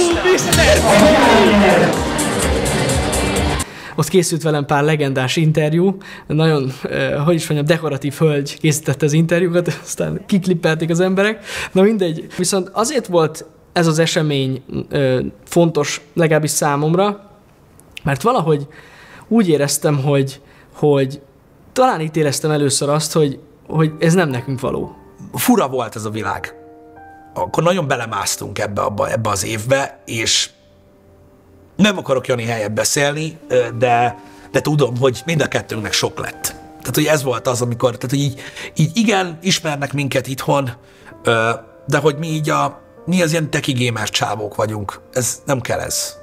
Eleve mi nem éreztük komfortosan magunkat soha ezekben a dolgokban. Nem azért, mert igazából mindig milyen celebben találkoztunk, tudták, hogy kik vagyunk, tudtak rólunk, nem az volt az idegen benne, csak ennél mi egyszerűbb ö, emberek voltunk mindig, meg nem nagyon ment soha ez a nagyon high life nekünk, akármennyire is úgy tűnik, vagy azt hiszik rólunk.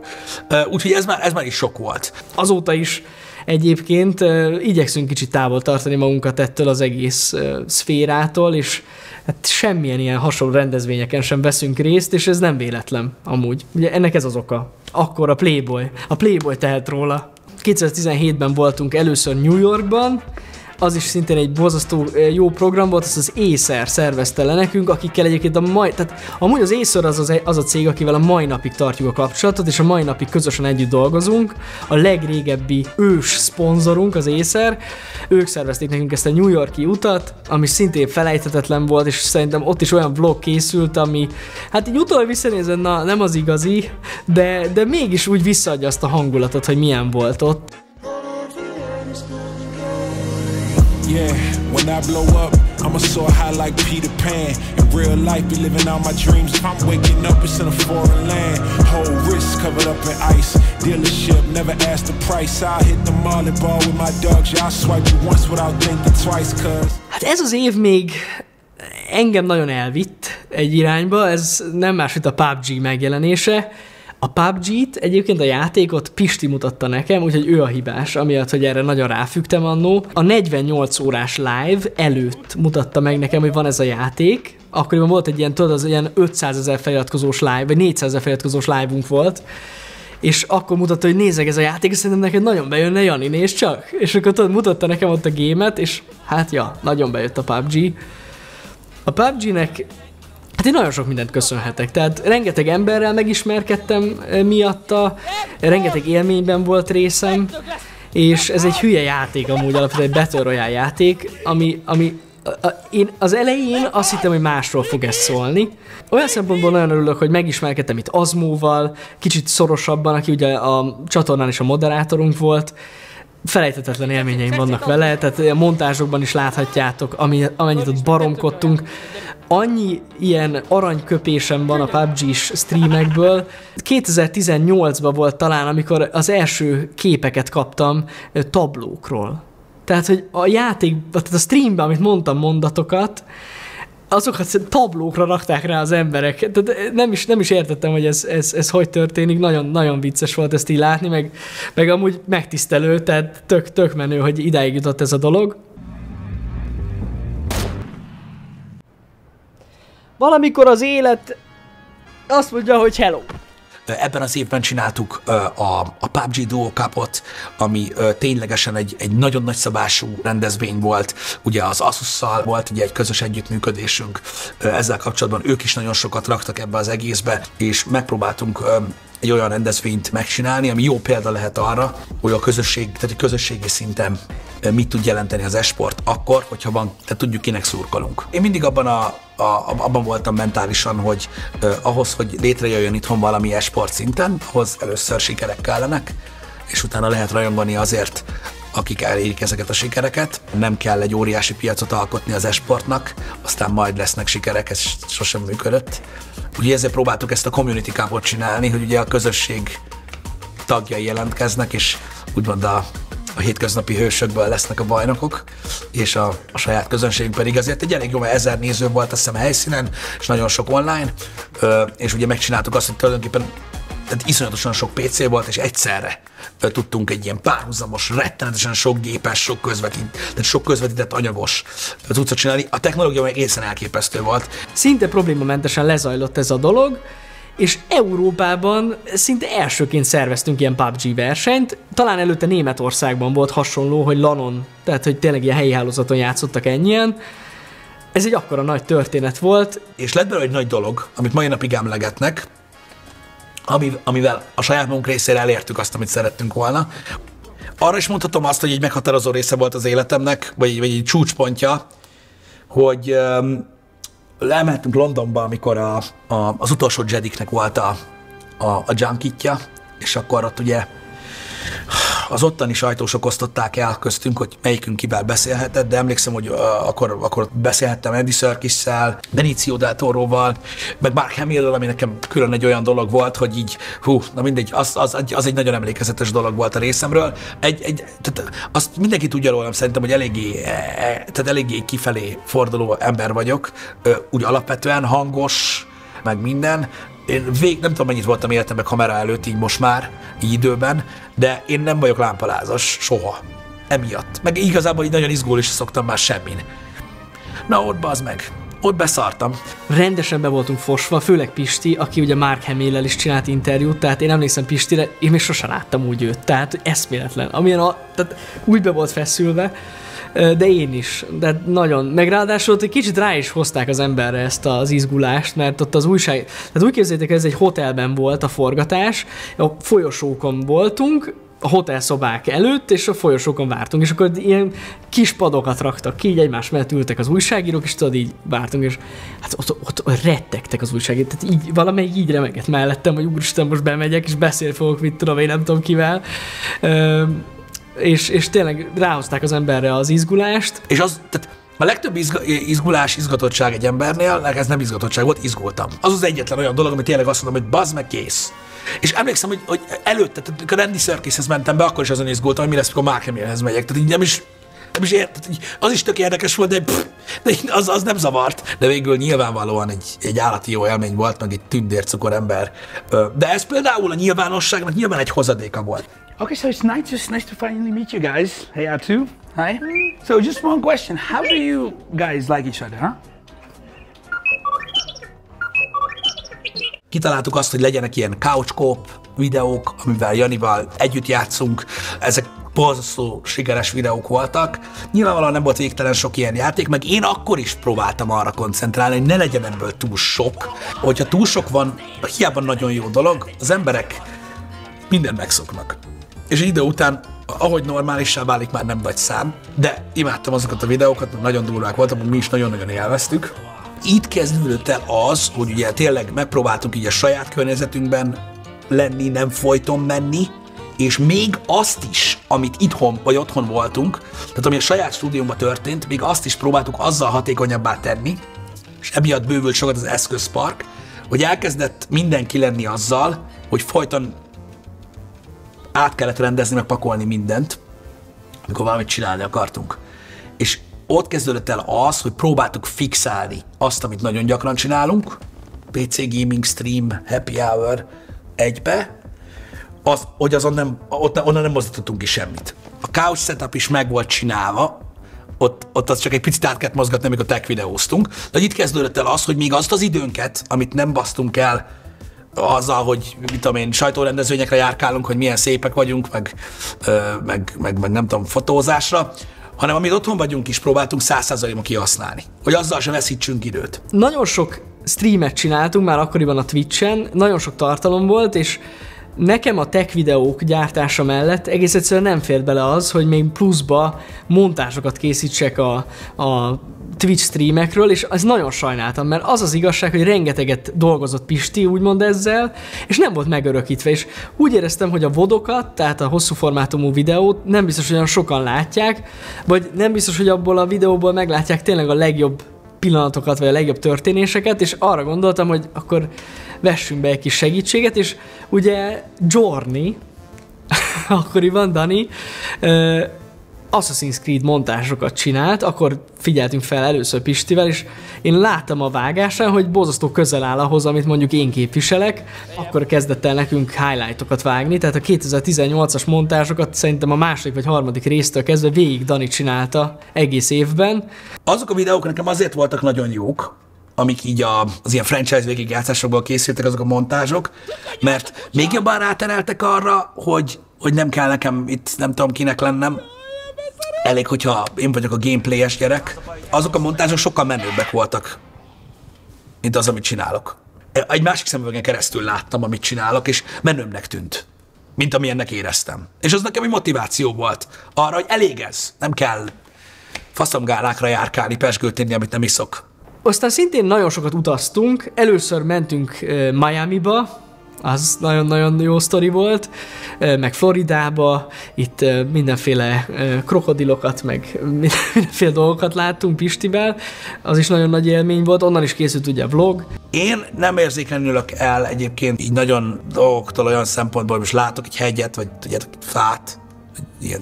A természet nem tud engem annyira lenyűgözni, hogy megérintsen ott belül, de valami miatt, ezt csak megosztom. Elmentünk az Everglades mocsarakra, milyen romantikus hely, nem? Az Alligator Farmra. Mondom, egyre romantikusabb lesz, ugye? Az egész. És nem tudom miért, valószínűleg, hogy egy ilyen mini nyaralás is volt ez, kicsit úgy elengedtem, úgy elengedtem a dolgokat. Az Isten háta mögött voltunk, ahol senki nem ismert meg minden, ez mindig egy, jó, pozitív érzés volt. És elmentünk egy ilyen túrára, azzal az izével, amit nem tudok, hogy hívnak. Tudod, a nagy propelleres a kétéltű mocsárjáró lószár. Ú, nekem az ilyen örök élmény volt. Ez van. Tudom, menőbb dolgoktól szoktak beszarni az emberek. Nekem az, nem tudom, gyönyörű volt az a táj, nem tudom, az, az, az, úgy, az úgy jó volt, ott megint fordultam egy kicsit. Így azzal kapcsolatban, hogy mit csinálunk, mire koncentrálunk, stb. Van néhány olyan része a, a, a, a, az életnek, amikor így átkapcsolok, és úgy utána, hogy újra rendezem a soraimat, talán az az volt. Ugye akkor is voltunk az E3-on, azt hiszem akkor voltunk utoljára, az E3-on, és az abban a szempontból is érdekes volt, hogy velünk volt Nessai, meg minden.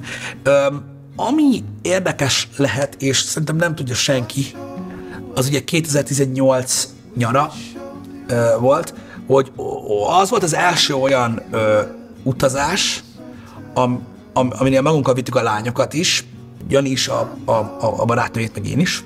Akkoriban már olyan komoly lett a kapcsolatunk a párjainkkal, hogy ez az akkori út egy ilyen nyaralás is volt a lányokkal, úgymond, és azt beszéltük Pistivel, hogy itt az idő, megkérjük a lányok kezét. Ami azért volt durva, mert nem beszéltük meg. Tehát jó, nem ott derült ki, hanem előtte, hát egy két héttel, emlékszem, hogy így ültünk a stúdióba, és így mondja nekem Jani, hogy hallod amúgy, hogy így azt látom ki, hogy szerintem, szerintem ott fogom megkérni a kezét. Én meg tudod, ez a bazd meg, most komolyan, kurva életben, úgy felbasztam magam, hogy szörnyű. Mármint, hogy nem az, hogy nem, nem mérges lettem, csak úgy rohadtul basztott, hogy szóltam volna hamarabb is a faszomat, mert én meg tudod úgy voltam hogy én megvettem a gyűrűt, én elterveztem ezt az egészet, én nem akartam mondani önnek, mert nem is gondoltam, hogy ilyen tervei vannak, tudod. És akkor így mer, mer, izé, te is, és akkor igen, és akkor most ezt hogy csináljuk, meg hogy ez így most hogy lesz, ez vicces volt egyébként az egész. És azt találtuk ki, hogy, hogy ez az egész egyszerre történjen. Tehát lement az E3-as szokásos program, mentünk a rendezvényekre napról napra, és az utolsó előtti napon, ugyanabban az időpontban, tehát megbeszéltük Pistivel, hogy mikor, megkértük a párunknak a kezét. Akkor az volt, hogy, eh, hogy így reggel ketté váltunk. Ők elmentek így totál másfelé. Mi meg uh, beültünk a kocsiba, és így elmentünk így a partra. Annyiból volt érdekesebb, amiről szerintem szintén nem tudnak a kedves nézők, hogy hát nem tudtunk teljesen szétválni, mert nem volt annyi autó, meg, meg megoldás, úgyhogy a, sors fintora, hogy a, az én lánykérésemben jelen volt Nessai. De ez úgy képzeljétek el, hogy ez, ez, ez, ez messengeren történt, ez a beszélgetés, ez a na most, most hamarosan eljön az időpont. Írtuk elsőnek, hogy nagyon most ready, ready. Ready, és megtörtént, és Pisti írt nekem egy SMS-t, hogy done. vagy egy üzenetet, hogy done. És én is ugyanígy, hogy nagyon nekem is done. És utána küldtük a selfiket, hogy, hogy megtörtént ez a dolog. Úgyhogy ez egy ilyen nagyon közös, ez, ez egy nagyon jó élmény volt, meg nagyon jól kitaláltuk ezt a dolgot, meg nagyon nagy volt az öröm, mert igen, mondtak a lányok. De szerintem ezt a nézőközönségből szerintem senki sem tudja, hogy amúgy én is így jegyben járok már nagyon régóta. Na ebben az évben a PUBG-nek köszönhetően szintén utaztam egy ilyen szóló utazás volt, itt megint nem volt velem Pisti, viszont Blájjal, akivel rengeteget játszottam akkoriban, kicsit fullba nyomtuk a kretént, és rengeteget gyakoroltunk, és nagyon népszerű volt akkoriban a Twitch-en ez a, ez a Twitch Rivals nevezetű hát ilyen bajnokság, amiket így random időközönként szervezett meg a Twitch, azok nagyon jól mentek, nagyon jól működtek, de arra gondolt a Twitch, hogy az akkori San Jose-i uh, TwitchConon rendez egy lant, szintén egy ilyen helyi hálózatos PUBG versenyt, és ide meghívtak minket. Úgyhogy ez borzasztó nagy, elismer, vagy nagy, nagy elismerés volt nekünk, és ide előre készültünk, képeket küldtünk magunkról, befotóztuk, hogy jól nézzen ki, és elmentünk San Jose-ba, elfoglaltuk a szállást Blájjal, és elmentünk a helyszínre, hogy megnézzük, hogy ez hol lesz, vagy hogy egyáltalán hogy néz ki ez az egész, vagy hogy miről lesz szó.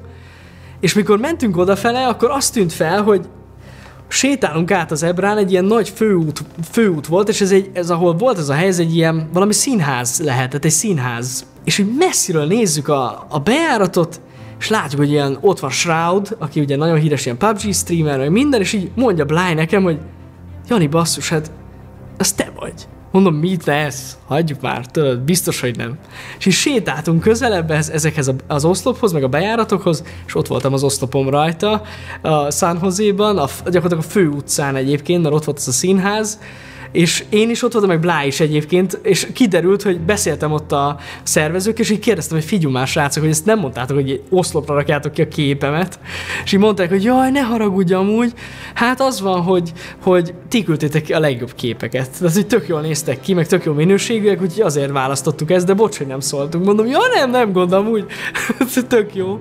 Hát ugye az időeltolódás miatt ezek a meccsek, ezek a, ezek a, tehát maga a verseny az hajnalban volt, tehát éjszaka. Szerintem valamikor éjfél körül indult, és ilyen négy-öt fele lett vége ennek az egésznek, és hajnali négykor is még több ezer ember ott írta, hogy hajrá fiúk, nyomjátok ez az, még menni fog. És tényleg annyira jó volt, meg ott hülyéskedtem a, a műsorvezető csajjal is, is van egy pár nagyon vicces klip amúgy, és az embereknek nagyon tetszett, és hát ez nagyon, nagyon jó élmény volt. Nagyon, azt sose fogom elfejteni, tényleg nagyon király volt ez a San Jose. Kicsit azért még, még így, így, így izgalmas dolgokban részt vettünk, amikor lehet, mert az érdekes dolgok, az új dolgokra mindig nyitott vagyok. Akkor vállaltuk a, a Bumblebee-be az első szinkronmelót, ami ilyen, ilyen pici volt. Ilyen, ha, tehát olyan szinten volt eltorzítva a hangunk, hogy szerintem nem szólunk, hogy mi, mi vagyunk, akkor nem tudja senki. De két gonosz Decepticon álca voltunk. Szerintem az vicces volt, meg egy nagyon érdekes új élmény volt, mert ha valaki esetleg nem tudja, kurva nehéz dolog szinkronizálni egyébként. Én nem is gondoltam, hogy ennyire. Szóval a, a hüm, hüm hangocskában abban van némi élvezet, jó? Némi szadizmus. Bírom, ahogy pukkannak. Szönnyük. Igen, na most itt a... Most abban van a Bumblebee-nek egy nyögése, és utána van neked egy nyögésed, azt a nyögést még nézzük meg, és akkor Jó. utána majd jön a dialóg. Egy dolgot biztosan tudtunk, hogy nem lesz elég a lakás. egész egyszerűen egy káosz lett a lakás, és úgy kellett közlekedni a nappaliban mondjuk, a nappali, hát ez az iroda volt, tehát a stúdió volt, a nappali, hogy így egy ilyen csík volt, és ott tudtunk közlekedni, és úgy jutottunk be a gépekig, a setupokig, ahol mondjuk streameltünk. Már egészen az év közepe fele gondolkoztunk azon, hogy most már el kell menjünk innen, ez most már nagyon nem okés így, tehát hogy ez, ez élhetetlen, és nem tudunk egyszerűen semmit se csinálni, és azt vettük észre Pistivel, hogy fel akartunk venni egy tech videót, és, és egy olyan másfél órát pakoltunk. Tehát, hogy előtte. Tehát, hogy annyira borzasztóan élhetetlen lett a, a dolog. Jöttek gondok.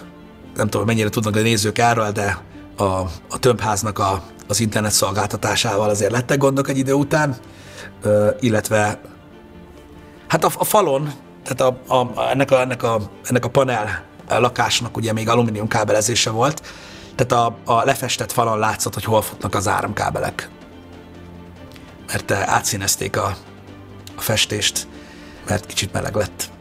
Túlfogyasztottunk. Men, menni kellett tovább. És uh, már megint változtatni kellett mindenen, csak most a helyszínen is. Én mindig tudom, hogy változtatni kell, és mindig, mindig utálom, mint a szart. Hál' Istennek! Ott van Jani. Annak örülök. Ha rajtam múlt volna, akkor csak mindig mondom, hogy mit kell csinálni. De sose csináltam volna meg. Lett egy ilyen nagyon király lehetőségünk, akkoriban együtt dolgoztunk a Telekommal, és ők mondták, hogy amúgy nekik itt Debrecenben van egy irodájuk, amit senki nem használ. És mi mondtuk, hogy na ne már, tényleg.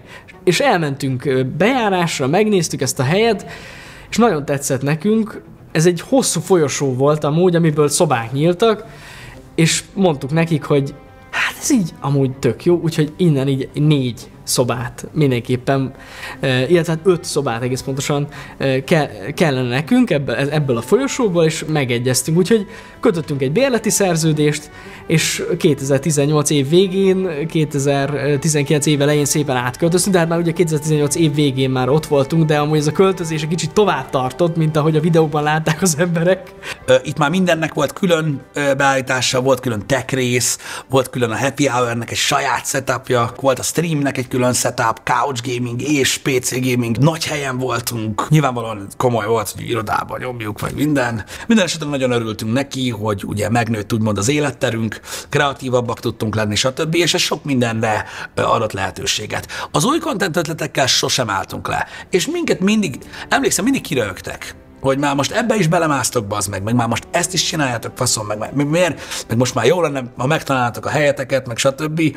Úgy voltunk vele Pistivel a tartalmakat illetően, hogy tök jó csináljuk ezeket a tech videókat, meg csináljuk a gaming tartalmakat az új irodából, de mégis valahogy úgy éreztük, hogy, hogy az embereknek szüksége lenne még több beszélgetős műsorra, és ennek az volt az oka, hogy láttuk, hogy a happy hour milyen népszerű. Tehát, hogy reggel rengetegen nézik, hogy miért csináljuk olyan műsorokat, ahol emberek beszélgetnek, és ebben az évben, 2019-ben a külföldön is nagyon ment ez a podcast műfaj, ott már ugye hamarabb elkezdődött ez a dolog, de Pisti nagyon aktívan követte már akkor is a podcastes szénát, így az amerikai híresebb podcastek, podcastereket, és úgy volt vele, hogy csináljunk mi is egy ilyet. Szerinte tök jól állna a csatornának, és úgy elmagyarázta nekem, hogy ez miről szólna, meg, meg hogy hogy nézne ki, és én is úgy voltam vele, hogy amúgy ja, meg Pisti is elég ügyes, tehát tud nagyon sokat beszélni, meg emberekkel főleg szeret beszélni, úgyhogy miért ne? Úgyhogy akkor alakult ki így a Time Out Podcast. Ö, akkor csináltuk a Rainbow Six eventet, ö, ami, ami egy olyan dolog volt, hogy ek- ekkor már rég nem, akkor, akkor már régen nem jártunk Play-re, arra koncentráltunk, hogy a közönségnek egy olyan részével találkozzunk, aki ténylegesen találkozni akar velünk, nem csak egy fotót szeretne, vagy ilyesmi, hogy ez ilyen szűkebb rendezvényekre koncentráltunk. A Rainbow Six volt egy ilyen, egy ilyen nagyon izgalmas verziója, hogy egy online selejtezőből lett egy ilyen verseny, aminél ugye ellenünk lehetett játszani, de ott is ugye élőben jelen volt egy csomó néző. Ugye annak idején a Real Talk volt ennek a megelőzője, hogy az is ilyen maximum 1000 fős, ilyen 500 fős rendezvényeket próbáltunk csinálni, ahol mindenkivel tudtunk minőségi időt tölteni, tehát legalább egy fénykép, egy aláírás, tehát hogy nem az volt, a, ami, ami, ami a nagy rendezvényeken már a vége felé volt. De ez az év, a, a, mondom, abban a szempontból volt nagyon-nagyon érdekes. Nekem ebben az évben volt a, a, a, a, az esküvőm, úgyhogy én onnantól így úgymond házas ember lettem. Az is egy nagy forduló pont volt az életemben, ami, ami eddig nem volt. Új helyre kerültünk, ugye szeptemberben megjött Balázs, aki akkoriban Budapesten lakott, és a, a, egy ilyen iPhone szervizben dolgozott, és egy cigi szünetben sikerült őt elkapni egy állásinterjúra.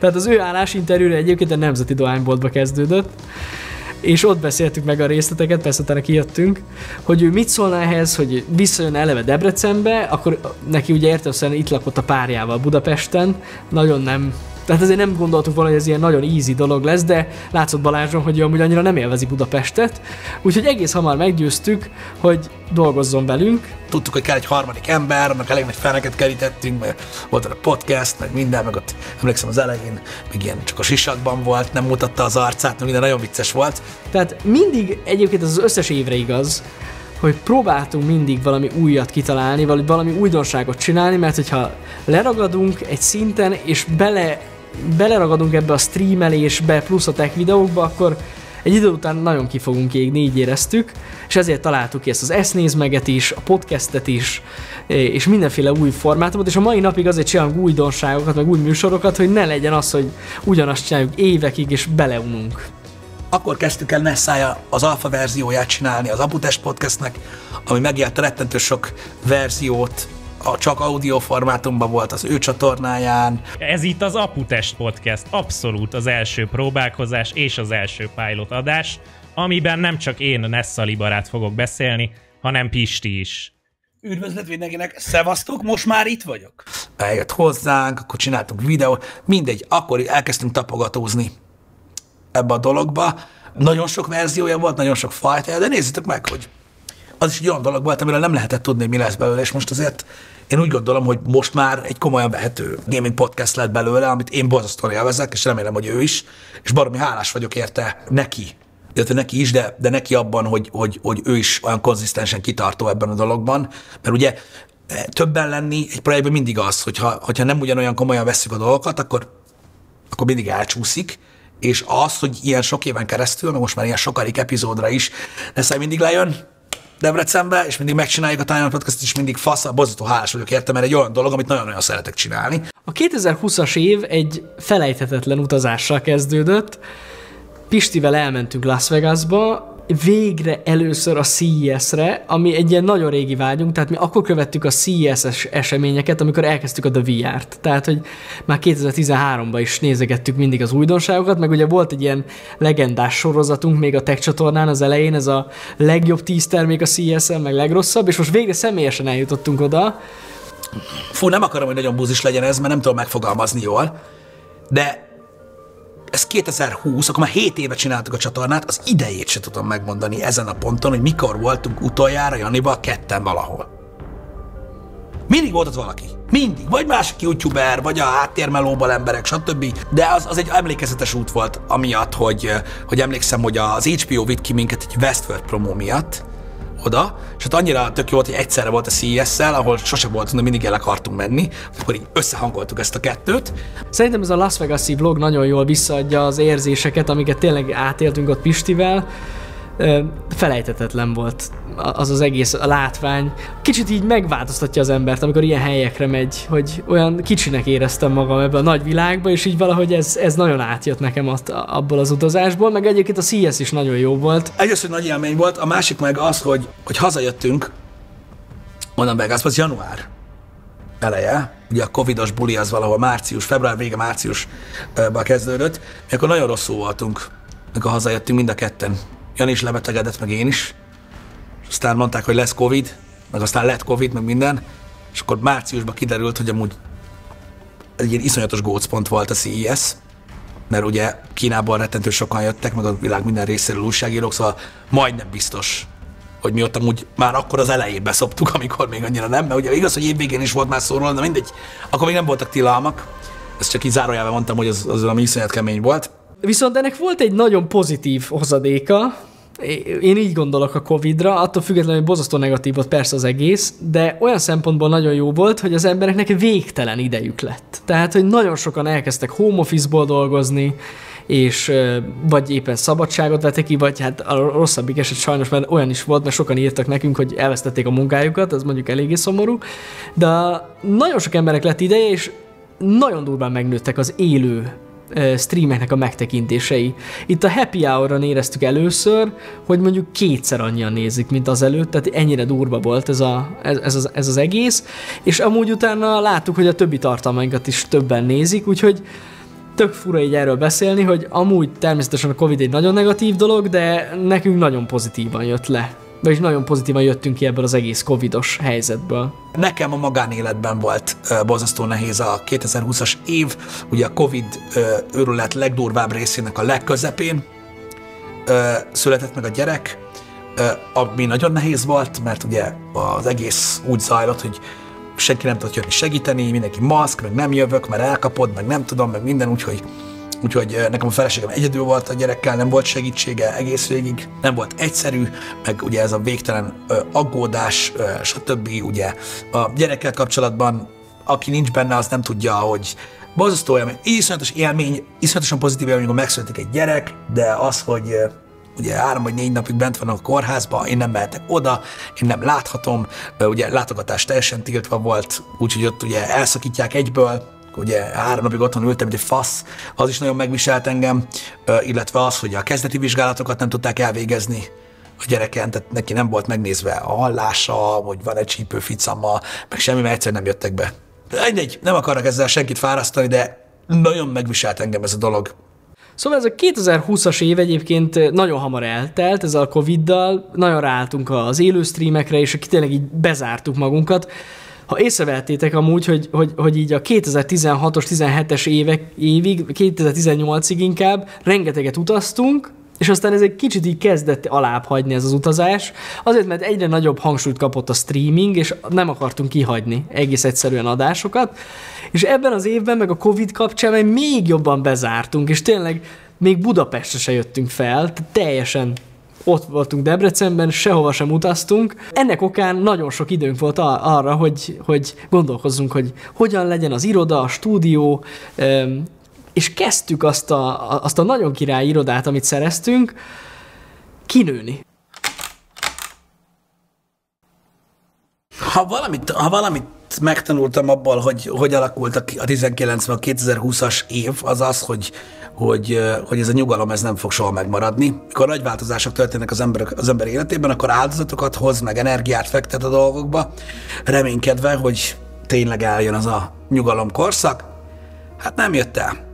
Ugye voltak gondok azzal az irodával, ahol éppen voltunk, azt a szituációt nem tudtuk tovább tartani, mert nem érvényesültek azok a feltételek ö, egy idő után, ami, a, amik, amiket, amiket mi tudtunk tartani, és ö, akkor kezdődött el az, hogy elkezdtünk új iroda után nézni. Több opció is volt, meg majdnem megegyeztünk egy másikra, arra esett a választás, ami végül lett, és emlékszem, hogy, hogy, hogy úgy, úgy alakultak a feltételek, úgy láttuk meg az egész víziót, ahogy megláttuk, hogy hogy van felosztva, meg minden, hogy nagyon, nagyon pozitívnak tűnt minden ott, ott, ott volt mit csinálni. Tehát azt, azt sokan nem tudják szerintem elképzelni, és hogy milyen átalakításokra volt ott szükség. Úgy, úgy kellett iszonyatosan sok munkát bele, szétbontani az egész belsejét, új álmennyezetépítés volt, új burkolatok, új minden, rettenetesen sok pénzt költöttünk rá, és nagyon-nagyon sok idő volt, és rettenetesen sok átalakítás, úgy, hogy az egy bérlemény volt. Jó fél évig készült egyébként ez az új iroda, egy ilyen belső építész srácot kerestünk meg, aki segített nekünk összerakni az egész dizájnt. Volt egy elképzelésünk Pistivel, hogy milyen anyagok tetszenek nekünk, meg hogy nagyjából hogy nézzen ki, de aztán végül ő rakta ezt össze. Na, az is, tehát ezt ne tudjátok meg, milyen egy irodát felújítani, amellett, hogy amúgy tartalmakat is gyártunk, és az felügyelni, képbe lenni, úgyhogy ez egy nagyon megterhelő időszak volt, de ettől függetlenül csak összejött, és valamikor a nyár végén, ilyen július-augusztus körül költöztünk be, megint csak fel, fel lehetne tenni a kérdést. Tehát úgy csináltuk meg, a pénteken befejeztük a streamet, és akkor a hétfőt már ott kezdtük. Tehát így, valahogy így terveztük. És uh, itt is felteheti az ember a kérdést. Miért? Nem lehetett volna leállni egy hónapra a költözés miatt? De, le lehetett volna állni. De sose voltam én, meg sose voltunk mi. Mert mindig ez a minek, minek, minek. Mert, azért mert, mert ez, ez a motiváció és ez a hozzáállás volt az, amit én úgy tapasztaltam, hogy mindig imádott bennünk a közönség, és ezt magammal szemben is ugyanúgy érzem, hogy ezt, ezt ugyanúgy tolni kell, úgyhogy azt is megnyomtuk, mint a gép. És kezdett megint előjönni az a probléma, ami, hát ami már, amivel egyszer szembesültünk, hogy nincs elég tartalom. Még mindig kellene még több tartalom. Felvettük Danit.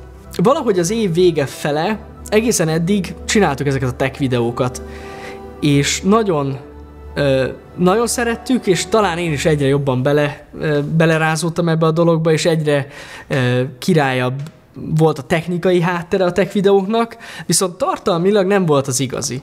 És ezt mindig éreztük Pistivel, hogy, hogy nincsen olyan, mint hogyha a tech csatorna mögött nem lenne egy olyan nagyon király koncepció, mert az elején ugye mi volt a koncepció? Olyan technológiákat mutattunk be, amikkel nem találkozik a hétköznapi ember. A Leap Motion, a virtuális valóság, ezek az eszközök tényleg mind olyan volt, ami, ami nem egy laptop, vagy nem egy telefon. És utána tényleg elkezdtünk elmenni ebbe az irányba, mert ezek a lehetőségeink voltak, hogy laptopokat teszteltünk, monitorokat teszteltünk, Jani és a monitorai, meg, meg ilyen eszközöket, és hát rájöttünk arra, hogy amúgy ez király, meg tök jól, egy, egyre jobban összehozzuk ezeket a videókat, meg nagyon jól néznek ki, de hiába, hogyha az emberek nem szeretik ezt a tartalmat, és ekkora tudatosult bennünk, hogy úgy, ahogy van a tech csatorna, ezt fel kell adjuk. Tehát ez, ez nem fog így működni. Hiába hoz nekünk egy, egy egész komoly bevételt, mert ugye ezekkel a különböző cégekkel együtt dolgoztunk, és voltak ilyen szponzorált ö, megjelenések, nem, nem jó ez az irány, mert ezt oké, tudjuk csinálni, ez végtelenség tudtuk volna valószínűleg csinálni, de, de az embereknek nem tetszik. És akkor jöttünk rá arra, hogy csináljunk olyan tech videókat, amiket szeretünk, vagy ami nagyon közel áll hozzánk, azokon kívül, hogyha találunk mondjuk tényleg szerencsénk van, és mondjuk van egy partnerünk, akinek van egy nagyon érdekes terméke, akkor azt elvállaljuk és megnézzük, de az alatt semmit se. És hogyha megnézitek a videókat, visszapörgettek, azóta tényleg szinte egy ilyen videó sincs, amit úgymond untak az emberek, úgyhogy itt volt egy ilyen nagyon nagy paradigmaváltás, egy kicsit meg is hát nem azt megrémültünk, hanem úgy azért nyeltünk egyet, hogy fú, basszus, azért csak kiesik egy nagy bevétel, de utólag nagyon megérte, mert szerintem oké, hogy kiesett, de tényleg kiesett egy bevételi lábunk, úgymond, de az emberek sokkal jobban élvezik ezeket az új tech videókat, már amikor van időnk megcsinálni őket, mert az, az sajnos abból kevés van, de szerintem ez nagyon jó ötlet volt, hogy akkor váltottunk. Abban az évben egyébként a, ugye egy átkot dobtam magamra a TikTokkal, Hát ez az új platform, nem tudtam, mire kell használni. Ugye van, aki kávét főz ezen a platformon, stb. De, de én nem tudtam, én azt tudtam, hogy, hogy mi nem tudunk olyan TikTok kontentet gyártani, amit mások gyártanak, ami miatt nem tudunk napi vlogokat csinálni. Nem tudom azt TikTokozni, hogy streamelek. mert azt csinálom egész nap ez van. Sajnos nem olyan izgalmas. Uh, így a, hétköznapok nem olyan izgalmasak, hogy én TikTokon mutagassam, mit csinálok. Uh, ezért kitaláltunk egy új formátumot, a Hambikóstit, aminek az lett a hátulütője, hogy most már van egy réteg itt Magyarországon, aki szerint én vagyok a hamburgeres csávó, és gőzök sincs, hogy én ezen kívül valaha csináltam bármi mást is. Ami néha fáj, néha meg olyan, hogy hát nem működik a TikTok platform, mert, mert annyi embert lehet ezzel elérni, amennyit nem lehet a videójátékokkal vagy egyéb dolgokkal. De én hiszek abban, hogy minden szakmai tartalmat úgy érdemes megcsinálni, hogyha egy olyan tartalomgyártó vagy, mint mi, hogy nem specifikusan egyfajtát csinál, hogy legyen élvezhető mindenkinek.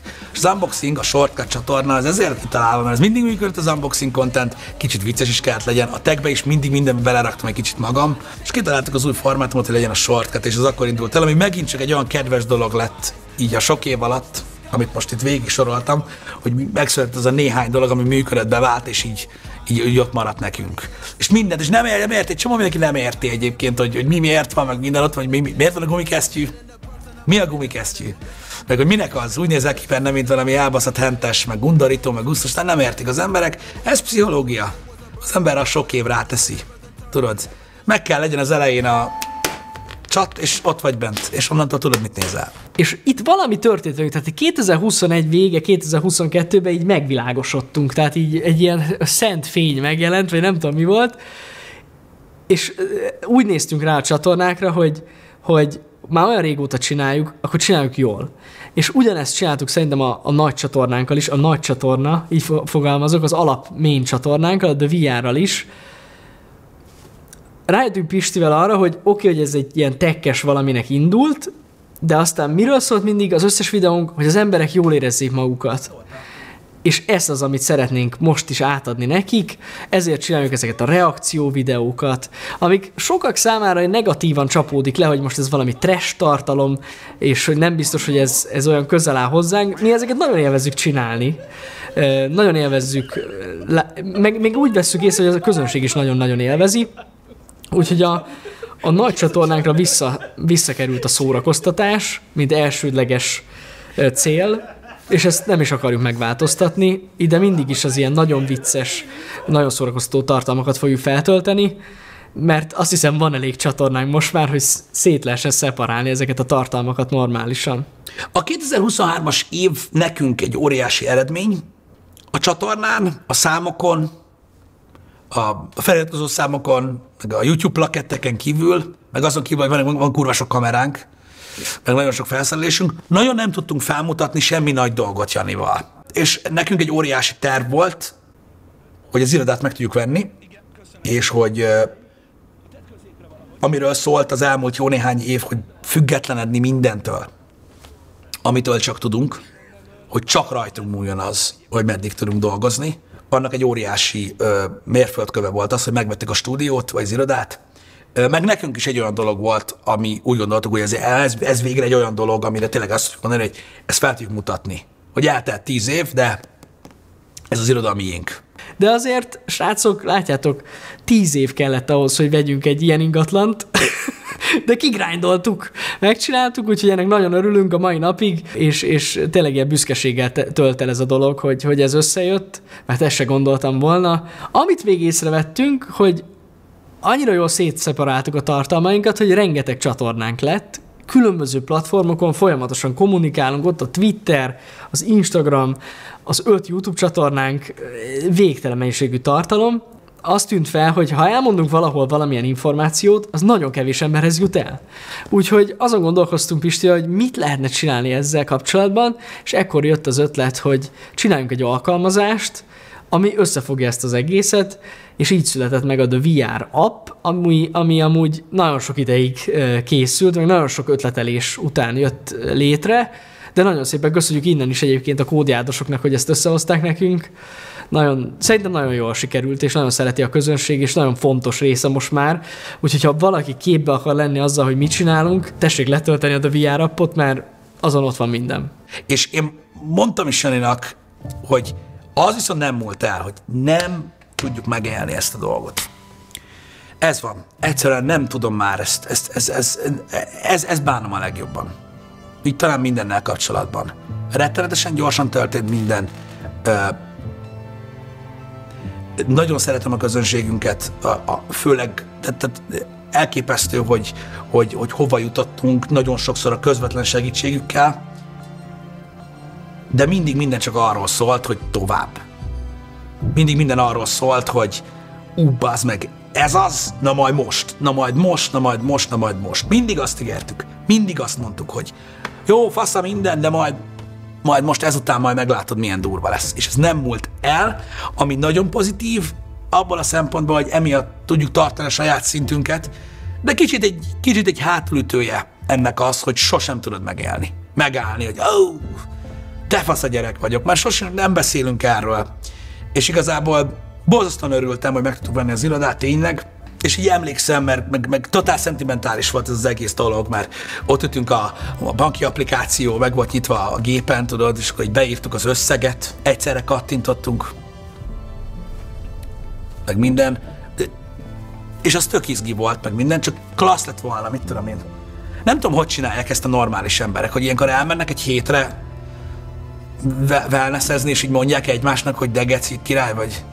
Nem tudom, mi nem csináltunk ilyet, dolgoztunk tovább. Itt vagyunk, hogy ebben az évben két ilyen nagyon fontos dolog is történt, és tökéletesen reprezentálja az elmúlt tíz évet, hogy miről szólt. Csak ugye, amíg kis dolgok történtek, addig, addig mi is nagyon kicsik voltunk, most csatorna szinten beszélek, mikor meg nagyon nagy dolgok, dolgok történnek, most már nagyok vagyunk, de, de mindig ugyanaz van, hogy mindig történik valami agyfasz. Minden kibaszott két hónapban, amitől így megőrülsz, és nem tudod megélni. És nem tudod megélni a dolgokat. És így visszatekintve végigmeséltem tíz évet, és szerintem csak az utóbbi két percben eszembe jutott kb. még egyszer ennyi dolog, amit elfelejtettem. Mert, mert, mert túlságosan sok. Túlságosan sok. Abba biztos vagyok, hogy, hogy, hogy, meg kell, hogy, hogy mindennek meg kell történnie. Voltak nem jó dolgok is. Nem ment volna egyedül semmi ebből a dologból, ez, ez teljesen biztos. Um, sokan kérdezik, hogy, hogy Janival nekem milyen a, a, a kapcsolatom, és um, mindig, mindig, mindig az a kérdés, a, emlékszem, amikor a face-to-face videókat csináltuk, meg előtte is évekkel, mindig mindenki azt kérdezi, hogy mi amúgy barátok vagyunk-e. És emlékszem, hogy még ő is mindig azt mondja, meg, meg én is, hogy amúgy nem, mert ez nem az. Ez valami tök más. Lehetne mindenféle ö, ö, nevet kitalálni erre, ami nagyon érzelgősen hangozhatna. Inkább körülírom ö, a dolgokat. Nem hiszem azt, hogy sok ember van a, a világon, akinek van egy másik ember, ö, aki nem a családja, nem a legjobb barátja, ö, de olyan hatással van az életére, hogy függ tőle. Ez egy nagyon, nagyon furcsa dolog. Egy nagyon-nagyon furcsa dolog. Ö, mert egy kicsit olyan természetellenes is. Hogy úgymond egy, egy most fogalmazunk így, mert jó, nyilván most nem, nem erről van szó, de hogy egy idegen ember ö, úgymond teljesen ennyire nagy hatással ö, van az életedre. Nagyon furcsa ez a kapcsolat, és nagyon különbözőek vagyunk, még mindig. És ha az nincs meg, akkor, akkor, akkor, akkor, akkor én nem tudom. Én, én vég nélkül tudok, tudok tartalmat csinálni, azt tudom. De a többi, az, az nem én vagyok.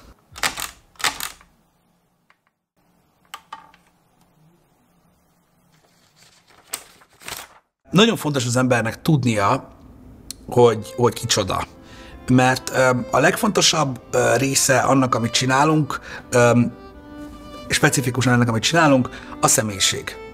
Minket a közönség tanított a legtöbb dologra azzal kapcsolatban, amit csinálunk, és a legfontosabb dolog, amire tanított minket az, hogy nekik nem az számít, hogy mit csinálunk, hanem, hanem az számít, hogy mikik vagyunk.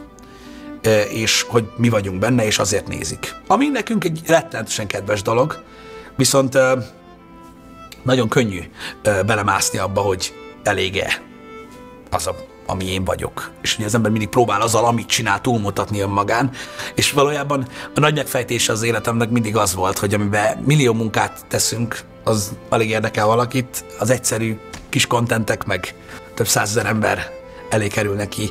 Miért van ez? Itt a válasz.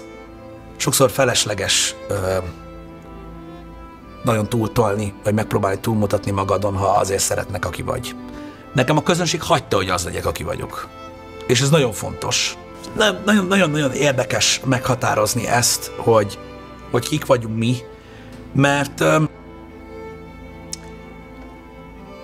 ha le akarok vonni valami következtetést az elmúlt tíz évből, az az, hogy nem tudjuk. Még mindig. Mert ha, ha arra gondoltok, hogy mi egy ö, VR-ról író tech blogot akartunk csinálni, akkor az már három hónappal később se az volt, nem hogy tíz évvel később. Az, hogy mit gondoltunk magunkról 2015-ben, ö, az már 16-ban teljesen más volt. Nem hogy 8 évvel később.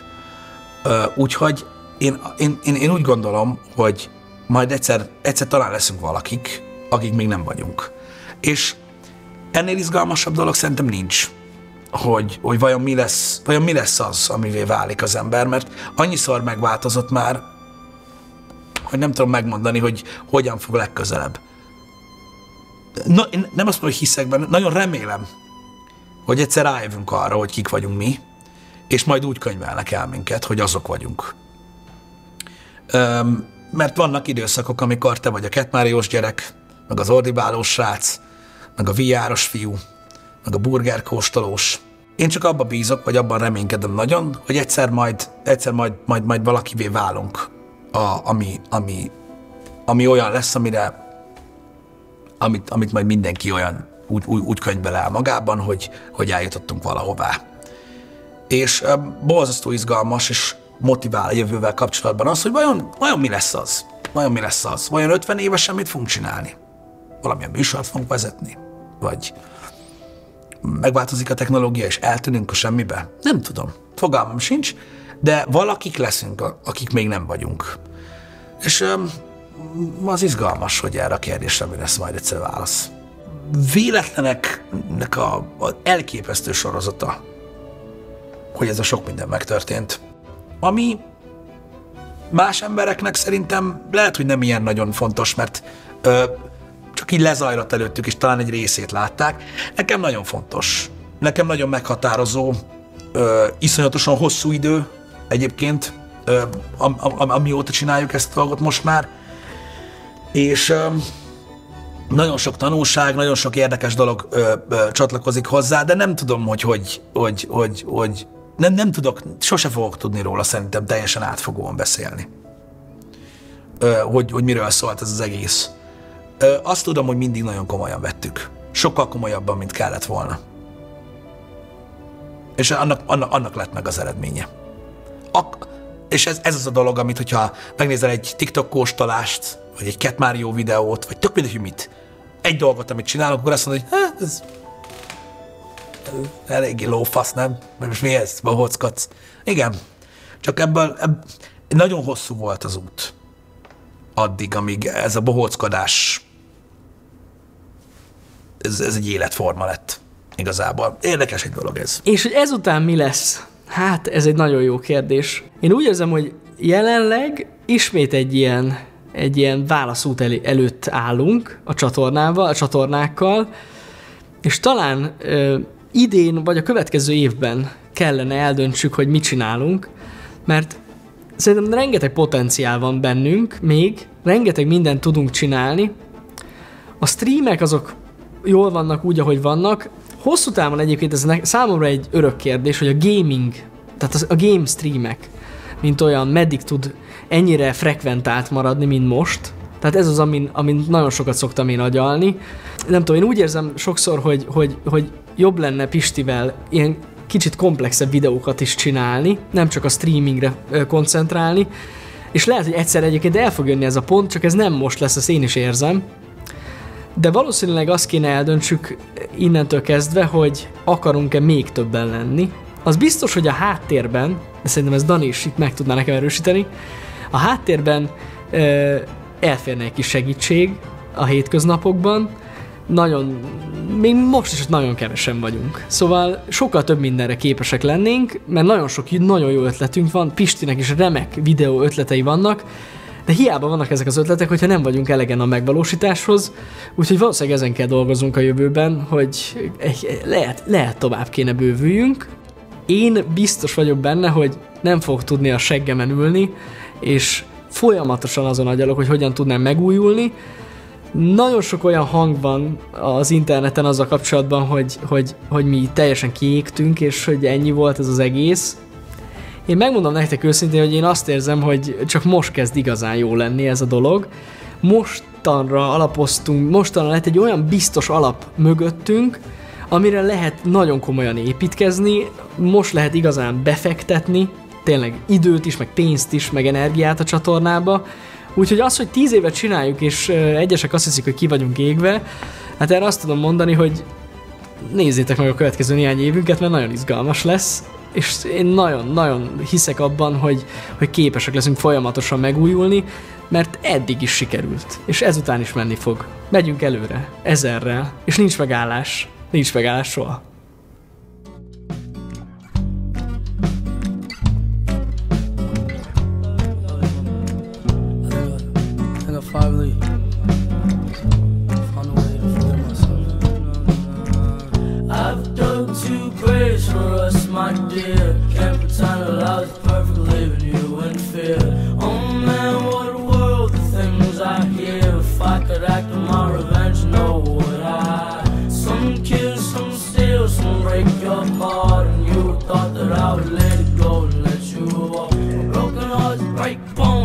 like a fire.